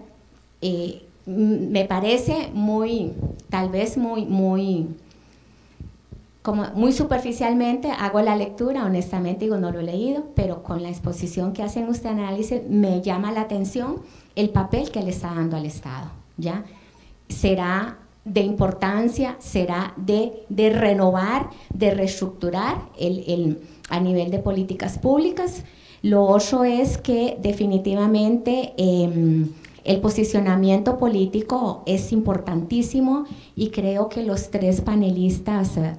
Son parte también de, esa posición del autor, de, ese enfoque integral, de que no solo verlo como ustedes expertos, expertas en economía, solo desde el punto de vista económico, sino de político, social, cultural, la perspectiva de género, Ana Rosa, que es algo que tenemos que cotidianamente estar luchando y trabajando y visibilizando.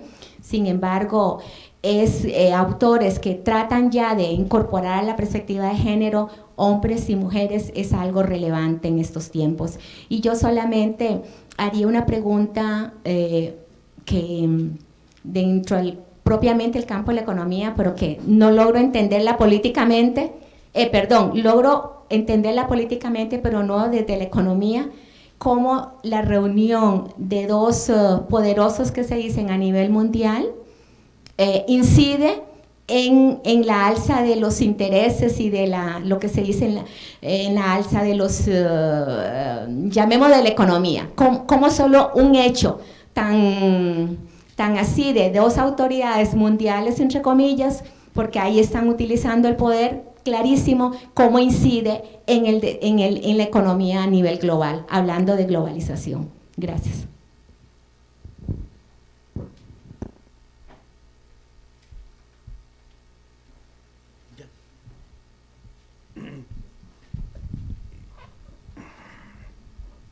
Preguntaba Marco, pues, pero por una línea, un renglón, ¿verdad? sí, ¿por dónde empezar la nueva economía? Como, como el viejo truco, puedo decir por dónde no empezarla, o por dónde impedir que se aparezca. Yo diría, por la propia experiencia, que eh, una primera cosa, o sea, no llega al renglón entero, es que mientras sigamos en nuestras escuelas de economía enseñando única y exclusivamente, y además de manera eh, hegemónica, monopólica, la economía convencional, que, que, yo llamo así, ¿verdad? Por ahí no vamos a caminar, por ahí no vamos a caminar, pero es que se continúa. Yo creo que caemos todos en la misma trampa porque eso es lo que, aprender eso es lo que da eh, puestos a propósito de empleo, puestos de trabajo en la empresa, en la empresa pública, en la empresa privada, y porque en la mitología eh, general de, nuestro pueblo, de ahí el que sabe hablar de todas esas cuestiones técnicas y hablar cada vez más enredado con eso, ese es el, el economista, ¿verdad? El otro puede ser un filósofo, un bateador.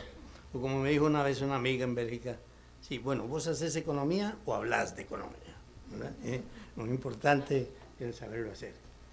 Entonces, por ahí no, ¿verdad? Es decir, hay una contradicción entre querer hacer una nueva economía y seguir eh, solamente en esa línea. Pero eh, hace tiempos, bueno, yo tenía siempre la inquietud de que hay que ligar la universidad con el trabajo, con la empresa, pero no con la empresa como se suele decir solo, sino ligarla con los retos que, que se plantean a los emprendimientos, a la economía solidaria, que de alguna manera hay que, hay que vincular eso. Eh, perdón, eh, me echo para atrás. Atkinson dice, no lo mencionamos creo que ninguno de los tres, Atkinson dice que su intento con este libro también es hacer que todo el plano del razonamiento macroeconómico pegue con el problema cotidiano de la gente. Mientras eso no se haga en la misma academia, mientras no se haga eso, pues no hay, no hay forma de, empezar una economía. Eh, yo diría entonces que es ligando el parte, no sé cómo, parte de nuestras, eh, eh, bueno, Luis Paulino lo hace completamente, ¿verdad? Pero en nuestras escuelas, ligando la problemática real de la gente, de, como digo, de emprendimientos solidarios, por ejemplo, de iniciativas distintas, puede ser una, una forma de empezar, pero en realidad no es empezar, como voy a decir enseguida, a, a reflexionar de una manera nueva en el campo económico. Eh, ah, eso era a propósito de lo que decía Roxana, decía cómo incide la reunión de los dos grandes eh, esos. Bueno, es igual, eso, es, eso es una buena pregunta, es no cómo incide la reunión, cómo incide la economía que enseñamos o que se enseña o que continúa enseñando con la vida cotidiana de, de, la gente, las necesidades de las... Eh, y aquí dos cosas. Aparte de esa colaboración, academia, empresas, pero empresas no en el sentido como suelen tener, no como CAEP simplemente, ¿verdad? Sino en sentido más amplio, con todos los emprendimientos. Aparte de eso, hay dos cosas que yo sí creo que tendríamos que darle mucha reflexión. Eh, eso, lo del espacio de diálogo social, lo voy a llamar así. Si un espacio de diálogo social donde converjan, como dice Atkinson, todos los diferentes eh, movimientos, organizaciones, etcétera, y no solo la, la triada convencional, ¿verdad? Sin eso no hay una forma de estar eh, discutiendo vitalmente eh, los problemas, por, decir así, viendo prueba y error, definiendo, introduciendo el tema distributivo en la definición de las políticas públicas, ¿verdad? Sin eso no. Pero el tercero es una cuestión más complicada. Eh, no lo mencionamos, pero eh, Atkinson habla del utopismo, ¿verdad? Y en eso pega también con Zen.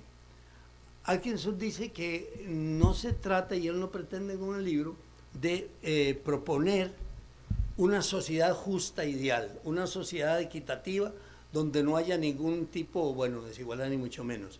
Lo que él quiere, y lo dice, y a mí no, lo mencioné, mencioné yo tampoco y me gusta mucho, es él quiere indicar un camino y una dirección. Yo pongo en duda, y miro al político de la mesa, pero no, no, con Luis Paulino no tengo ninguna duda, pero eh, yo pongo en duda que en lo que fue la izquierda tradicional, en lo que ha sido las luchas sindicales, se tenga una posición que escape de ese utopismo.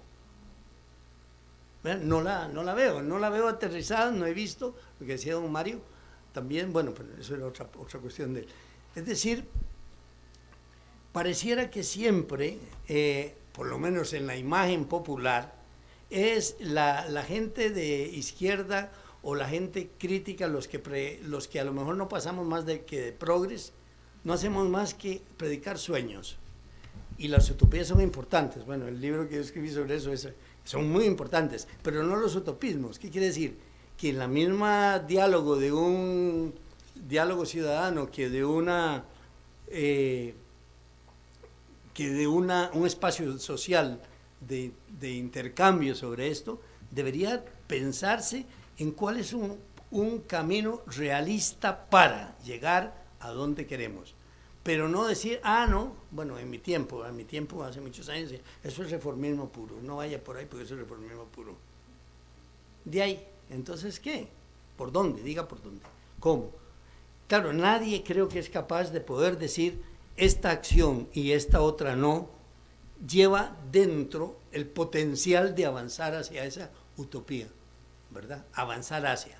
Pero en todo caso yo creo que es que nos ha faltado en general, nos falta mucho, y desde luego en la academia sí, el, el tener, mm, perderle miedo a esa cuestión de del reformismo y pensar en qué cosas son camino y potencialmente generan una, una, un cambio en la economía, porque no se puede hacer desde una mesa. Siempre me acuerdo de un hombre que ya murió en el Cope Silencio, que decía a, los, a mi primo Miguel Sobrado y a todos, Ah, no se olviden ustedes, decía, que un escritorio no nace una mata. La mata hay que saber dónde se siembra y cómo. Entonces, eso es. Eh, sobre lo que decía Gustavo, eh, alguien solo, si lo leíste, sí, lo dice más veces, no solo la, restricción que tiene él en sus, en sus propuestas, o en su planteamiento a Europa, no habla de Europa, habla del Reino Unido. Él dice que es totalmente, él es totalmente consciente que está demasiado restringido, ligado a la experiencia del Reino Unido. Pero, pero, dice algo que creo que considera como válido. Los principios que se proponen ahí, análogamente, ¿verdad? de manera comparativa, pueden proponerse a la prueba en otras situaciones. Que también lo dice, y eso yo no me acuerdo de la frase, pero dice eso, es en otras en otros marcos, en, cada uno debe comprender el marco en que está y adaptar, adaptar es una manera de decir, coger los principios y encontrarlos su viabilidad en esto, ¿verdad? Eh, lo de que ya insisto en que los consejos sociales como tal, yo no sé si quitarle el, el, nombre tan eh, un poco pomposo, Consejo Social y Económico, y ver, eh, y bueno, está también la cuestión de cómo se, se, se financian. Pero yo creo que, digamos de manera más amplia, espacios sociales de diálogo nacional donde se pueda discutir abiertamente, eh, por ejemplo, por decirlo así, eh,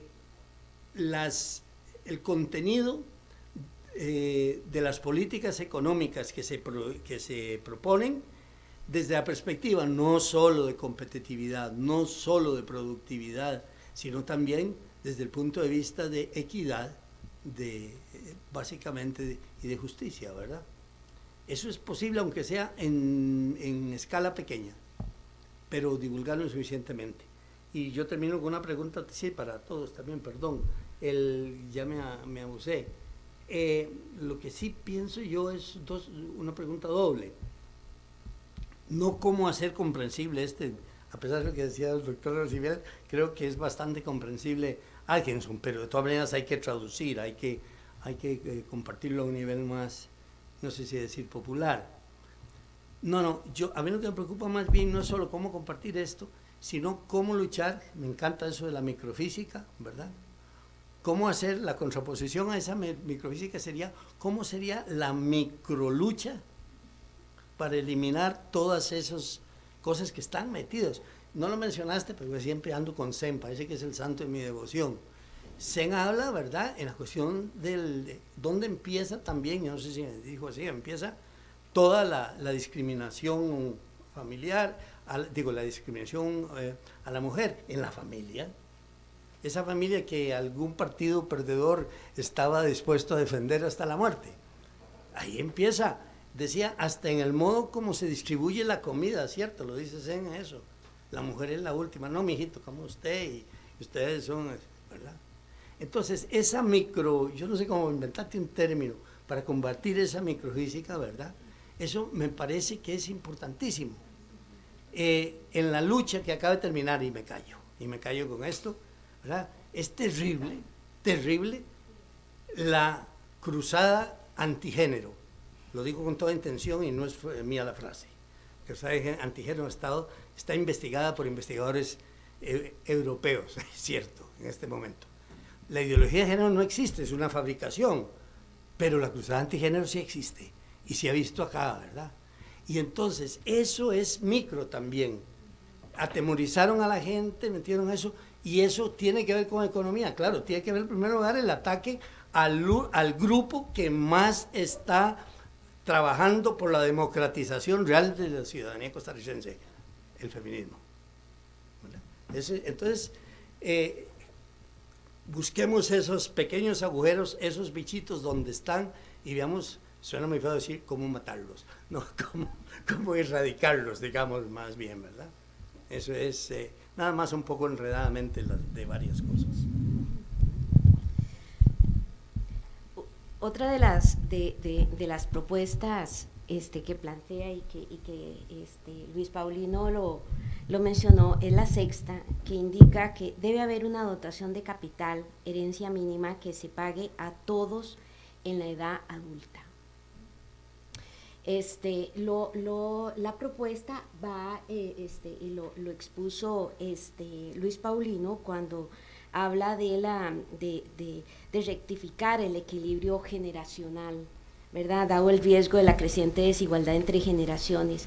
Pero vieran que yo lo tomaría, este, aprovecharía esta propuesta para plantearlo desde otra perspectiva. Y ahí retomo lo, lo que eh, Marcos este, mencionó, que es la, la economía del cuido, porque cuando yo les he hablado de ese tiempo de las mujeres, este, que no es reconocido, es que dentro ya se ha estimado que no es un tiempo despreciable. Estamos hablando de que si lo queremos comparar con el Producto Interno Bruto, inclusive tendría el mismo peso que tiene actualmente el sector agrícola dentro del Producto Interno Bruto. Entonces, ¿qué, es lo que sucede y, este, cuando empezamos a aprender la economía? Uno de los primeros ejemplos que hacemos es este, eh, trabajar el ciclo económico. ¿Verdad? La relación entre la empresa con este, los, los consumidores, entre, ¿verdad? Entonces, cómo la empresa vende y los consumidores compran y esos consumidores son contratados por la empresa, ¿verdad? Entonces, ese, ese, esa simplicidad del ciclo económico. Lo que la economía feminista planteamos es que ese ciclo económico se tiene que ampliar. Es decir, porque hay otro ciclo aún muchísimo más importante y que es la reproducción de la fuerza de trabajo, que no es solamente conciliado y este, e, esa, esa, esa fuerza de trabajo generada a partir de un salario que va a comprar bienes y servicios, ¿verdad? Para, para suplir este, parte de la necesidad, sino que aparte de eso está el cuidado, está una serie de tiempos que es cómo preparamos los alimentos, con qué forma los vamos a a, preparar la atención que le damos a, las personas y eso es algo que al irse desvalorizando paulatinamente dentro de la, de la economía, ¿cómo lo estamos cobrando? Con la tercera edad. Vean la cantidad de personas que, se vienen en este país en esa tercera edad y, y, vamos a, ver este, eh, eh, datos muy, muy alarmantes. Entonces, aquí este, plantea dentro del, libro algo que, me pareció igualmente muy valioso, es que resalta este, Atkinson que una de las cosas, y lo hemos visto, ¿verdad? Cuando hay que cortar este financiamiento en el Estado, donde se cortan los programas sociales, ¿verdad? Hospitales, este, eh, eh, este, educación, una serie de, servicios que son, que son fundamentales para la familia. Entonces, cuando él plantea la propuesta este, eh, eh, que yo leí, la, la 3 y la 4, él plantea de, de, este, el Estado pagando empleos, horas específicas, y una de las que mencionan son este tipo de servicios. Porque si nos damos cuenta cuando a un enfermo le dicen este su, su, tratamiento es de un mes, pero no tenemos camas, tiene que salir, tiene que haber alguien en la casa que lo va a cuidar. ¿Verdad? Entonces le están transfiriendo a las familias un costo y ese es el costo que, están, que estamos asumiendo las mujeres. Entonces, ahí es donde esta propuesta me parece este, eh, muy importante retomarla, que el Estado considere que hay personas que desgraciadamente en los 90 se le denominaban inactivos y ahora no disponibles, es decir, por lo menos un trato más decente, ¿verdad?, a la cantidad de personas que no están en esa fuerza de, de, trabajo ocupada, que, que, que se dé también un recurso para reconocer. Y se le reconoce, como bien dice este Atkinson, con el salario mínimo, también con la previsión de una pensión. Estos números que yo hablé de desempleo son personas que no van a tener una pensión, ¿verdad? Que son, y entonces además viene a ser un costo adicional para las personas que laboraron durante toda su vida, tener que asumir su propia este, terminación de la vida, pero además el de las personas que lo cuidaron durante ese proceso, pero que la sociedad no reconoce, no, no valoriza y que además entonces esa persona con esa pensión va a tener que asumirlo. Entonces es asumir también como Estado esos, esos tiempos y, tomar acciones. Y esto lo, lo ligo con, dos intervenciones cuando decían, bueno, eh, eh, hay este, eh, este, grupos aún más marginados y efectivamente la población migrante totalmente de acuerdo y aquí la uno con la población indígena y ahí podemos este, la, la, la, población este, Em, de diversidad sexual. Es decir, estamos hablando de que tenemos que reconocer y explicitar esas, esas, esas desigualdades porque muchas de ellas sí requieren de acciones concretas en cuanto a ingresos, en cuanto a, cuando yo hablo de, de, salario este, digno, estoy relacionando con estos aportes del Estado para que se reconozcan áreas fundamentales que las familias requieren y que en estos momentos son asumidas por personas y personas que no se les está reconociendo y que principalmente en su mayoría este, son, son mujeres. Y, y, este abordamiento que hace Atkinson es que yo lo dirigí hacia, hacia, hacia la cuestión de desempleo, pero efectivamente hacia la ocupación, hacia su empleo. Es decir, esto nos da un montón de elementos para hacer análisis muchísimo más profundos de, cómo este, está, está este, eh, dirigiéndose los recursos de, del mundo y de este, de este país. Y efectivamente creo que uno de los elementos muy importantes de este libro es el papel que le está dando al Estado. ¿verdad? Y esto lo ligo a lo que hablaron de lo del Consejo Social y, y Político. Ahí yo igualmente retomo. Es decir, aquí lo que requerimos es diálogo no es posible que salga en las noticias cómo están haciendo una invasión del territorio este, indígena y no pasa nada. Es decir, igual, ¿verdad? Cuando, cuando hablamos del desempleo. ¿Verdad? Y, necesitamos un gobierno más, más protector de los derechos humanos y principalmente de, la población indígena y vemos más bien un movimiento de policías este, acercando a la población indígena. También qué está pasando con las piñeras y con todas estas...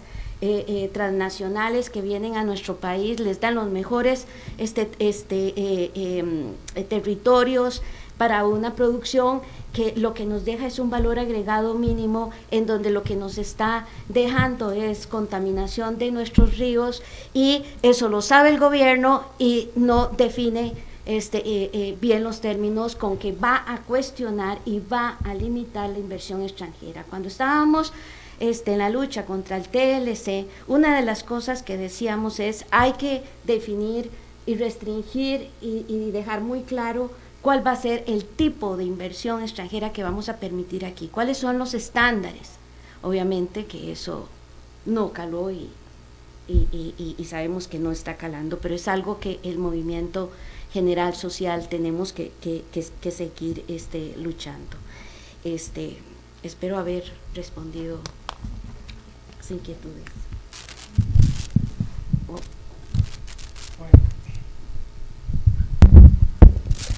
Ok. Eh, eh, todas las preguntas muy valiosas. Voy a tratar de tenerlas en cuenta todas. Ojalá no se me vaya ninguna.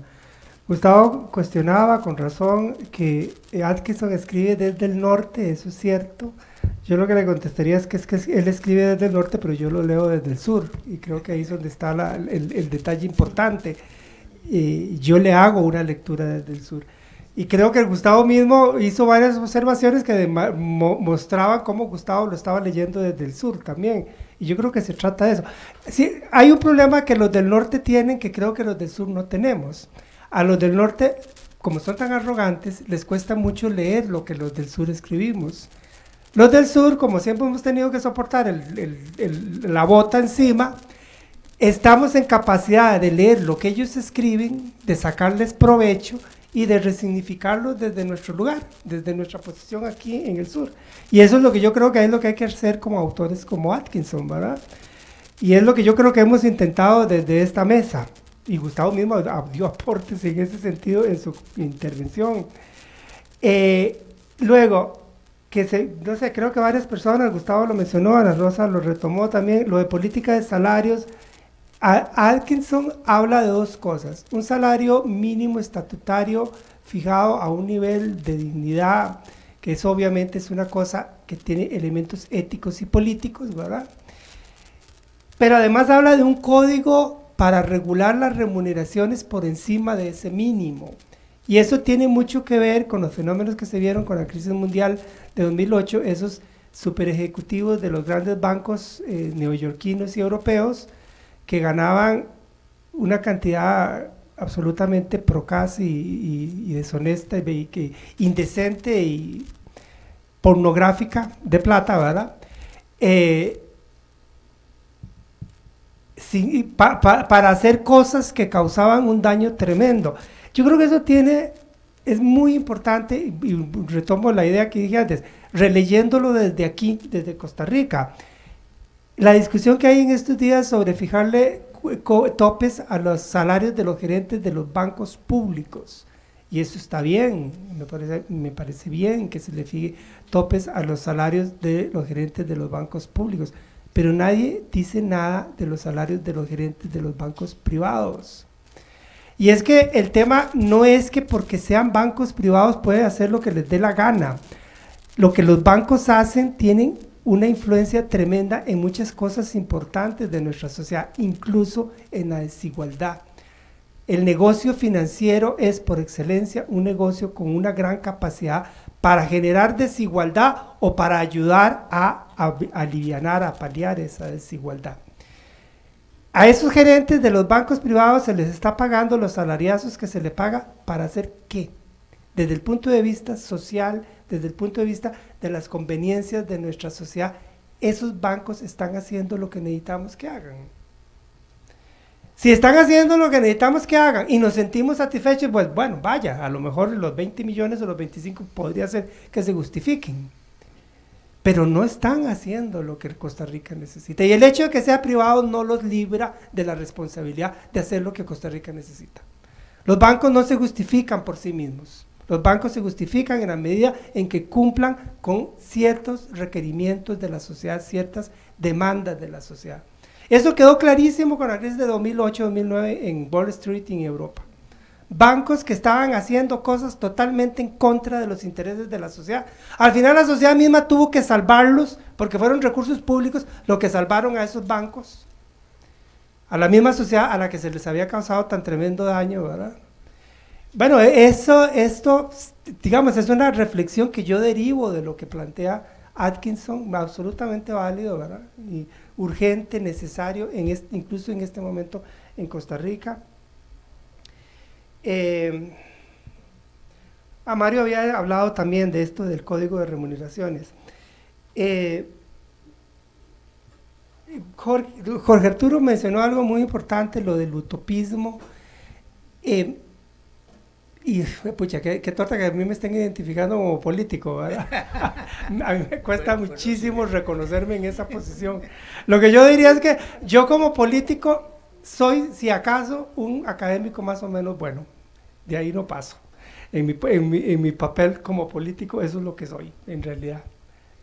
Pero bueno, este, el tema del utopismo, sí, efectivamente, eso se da, Jorge Arturo, eso se da, y es tremendamente problemático seguir razonando frente... O sea, yo ahí, perdón, pero voy a recurrir a una fase de, uno de los, el economista posiblemente más famoso del siglo XX, que es John Maynard Keynes, Cuando una vez dijo Keynes que en el largo plazo todos estamos muertos. Esa frase se ha, se ha prestado para muchas interpretaciones, algunas creo que interpretaciones incorrectas. Keynes lo que dijo fue lo siguiente, nosotros los economistas le hacemos un pésimo favor a la gente si le decimos que cuando la tormenta haya pasado, el mar volverá a estar, el mar volverá a estar calmo. Y entonces agregó, es que en el largo plazo todos estaremos muertos. ¿Qué es lo que Keynes estaba diciendo ahí? Los economistas, traduzco, los economistas le hacemos un pésimo favor a la gente si cuando estamos en medio de una crisis económica horrorosa y hay millones de gente sin trabajo, les decimos, no se preocupen, esto va a pasar, la crisis va a pasar, llegará el momento en que ustedes tengan trabajo. En ese, ese momento, en el largo plazo, esa gente sin trabajo estará muerta. Eso es lo que Keynes quiso decir. No, no quiso decir otra cosa más que eso, porque hay que ubicarlo en su contexto, en qué, fue, en qué contexto lo dijo, ¿verdad? Y eso fue lo que él dijo. Y él usó esa metáfora. No le hacemos ningún favor a la gente diciéndole que cuando la tormenta pase, o sea, cuando la crisis pase, la mar volverá a estar calma, o sea, ustedes volverán a tener trabajo. Sea, ya cuando se murieron de hambre, cuando se murieron de enfermedad. Eso es importante porque yo, yo personalmente sí razono en esos términos. Para mí, lo número uno es dignidad de la vida de la gente hoy. No mañana, no, no dentro de 10 años. Por eso mismo me resulta terrible cuando doña Epsi me contestó eso. Es que este es el proyecto que nos surge ahora. Después vamos a tratar de hacer ese otro proyecto de que usted está hablando. Y después, cuando ya estemos muertos, ¿verdad? Eh, esa es otra reflexión que yo quería hacer lo de los sindicatos, que ya me lo plantó Marco Vinicio, me lo planteó Ítalo y Mario. Hijo pucha, yo quisiera tener la receta para decirle, vean, sindicatos hagan esto y entonces resolvemos el asunto. yo creo que uno de los problemas que yo siento que los sindicatos tienen es la falta de propuesta, ¿verdad?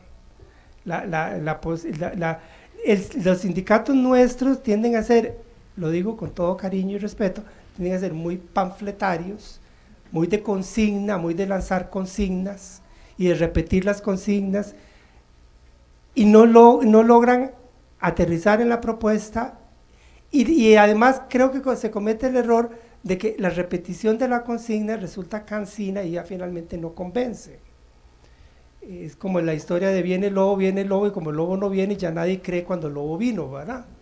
De, estar repitiendo tanto la consigna, la consigna pierde eficacia. Yo creo que hay que trabajar un poco por ahí. Yo personalmente siempre tengo la mejor disposición de trabajar con los sindicatos. Siempre, siempre, siempre. Eh, Albino eh, siempre me manda sus mensajes de WhatsApp y a veces dice unas cosas tremendas, mi muy estimado Albino. Y yo le digo, pero Albino, eso no es así, vea, eso es así, así, así. Yo trato de explicar, y lo mismo da. A la siguiente vuelve a decir lo mismo, ¿verdad? Entonces, ¿cómo diablos hacemos? Bueno, ni modo, hay, que arar la tierra con los bueyes que se tenga, ¿verdad? Y si esos son los bueyes, pues vamos para adelante con esos bueyes. Eh, pero sí, yo eh, por ahí estoy comprometido con otro compañero sindicalista que voy a tratar de escribir algo más en una línea propositiva, que por ahí no sé quién me lo planteó. Yo, yo creo que hay mucho que trabajar. No voy a extenderme sobre eso, yo tengo mis ideas sobre cómo deberíamos enfrentar el, el tema fiscal a lo largo de los meses lo he escrito, eh, voy a retomarlo, voy a volver a escribir sobre eso, voy a tratar de mejorar lo que ya propuse. En el tiempo en que fui político, que era candidato a vicepresidente, traté, hay un documento por ahí que dice eh, mapa de, ¿cómo fue que le puse? Hoja de ruta para una propuesta responsable e integral sobre el tema fiscal. Y yo puse a, mi candidato, a Edgardo, la puse a firmarlo se lo pasé a Edgardo, Edgardo, quiero que saber qué opinas de eso, Edgardo nunca me dijo nada. Este, le insistí, ya fue, luego le dije, bueno, Edgardo, lo pongo que lo firmamos los dos, vos y yo. Me dijo, sí, sí, sí, ponelo. Ahí está publicado. Pero, eh, o sea, tengo que decirlo, el mismo partido no le dio pelota. Pero bueno, igual seguiré ah, tratando de aportar en esa línea. Y por supuesto que la microfísica de la desigualdad es tan importante. Yo no sé si es el nombre correcto, Aquí está Pablo, que es indígena, ¿verdad? Y que trabaja con nosotros. Hubiera me hubiese encantado que hubiera estado Mariana, que son nuestros dos, nuestra compañera y nuestros compañeros indígenas, que sufren la desigualdad de una forma particularmente violenta. las personas migrantes, como dijo Gustavo, las mujeres migrantes, los niños, las niñas migrantes, ¿verdad? Eh, yo el otro día hablando con André Pineda, le comentaba, mm, se sabe muy poco o posiblemente no se sabe nada de lo que significa ser un muchacho homosexual migrante, ¿verdad? Lo que significa atravesar las líneas fronterizas de, de México a Estados Unidos o de nuestros países hacia el norte, siendo un muchacho gay, ¿verdad? De eso no se sabe nada y debe ser muy violento. Debe ser violentísimo. Y para ilustrarlo, y con eso termino, ayer el CR hoy, el sábado Jonathan y yo nos casamos. Yo no sé si todos lo saben aquí, pero es cierto. sí. Por supuesto, dispuestos a seguir la pelea hasta donde haya que llegar. Y el CR hoy, como nosotros hicimos una publicación en Facebook, él y yo, igualita, la misma publicación con las mismas fotos, el mismo mensaje, mismas fotos. CR hoy me llamó, hizo una nota, vieron ellos, hicieron una nota y la publicaron ayer en el, periódico digital CR. Entonces, para hablar de, los temas de la microfísica de la desigualdad, algunas pequeñas muestras. Hay un señor que se llama Kenneth González, dice, par de huevones. Hay otro que se llama Harold Romo que dice, bueno, póngale el nombre que quiera para algo que a todas luces es y será siempre ilegal. De paso, CR hoy, eh, no, eh, de paso, no me importa lo que este par de cochinos hagan o dejen de hacer, pero no intenten ponerlo como algo normal y aceptable. Eh, vamos a ver. Otro señor que usa un seudónimo dice griego oeste. en un país sano esta gente estaría encerrada, pero estamos en el país de los sodomitas y así nos va, qué desgracia. Eh, otro señor que se llama José Gamba, ¿no les da vergüenza a este par de pájaros prehistóricos hacer esta porquería? Eh, y así sucesivamente. Ese es el país que tenemos. Ese es el país que tenemos. Gracias.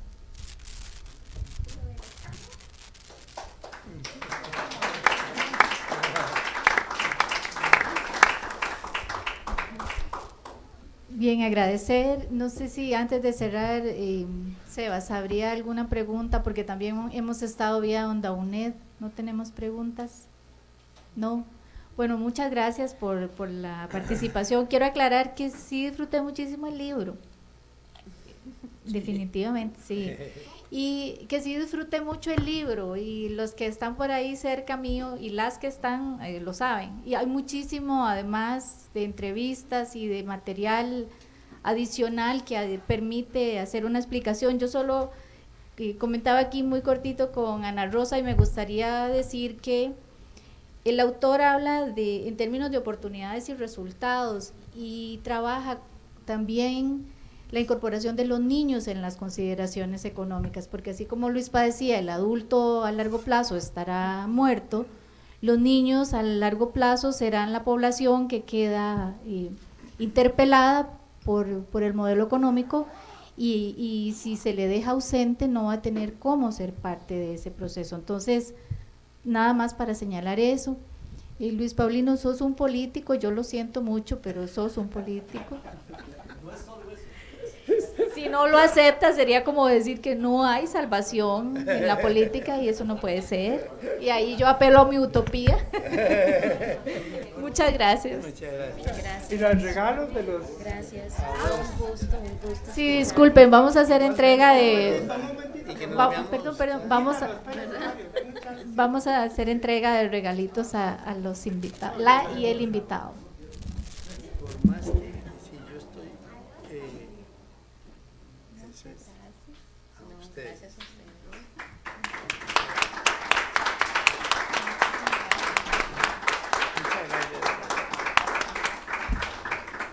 Perdón, es, nada más un pequeño obsequio de agradecimiento por la, la, colaboración, la buena voluntad de tener aquí a Ana Rosa y a, y a este, Jorge Arturo. Y, muchísimas gracias a ambos de parte del SIG, de parte de la UNED. Bueno, de esta forma damos por finalizada la actividad y esperamos que contemos con su presencia en nuestra próxima invitación El CICDE se siente realmente muy honrado de poder participar con ustedes en este tipo de conversaciones. Buenas tardes.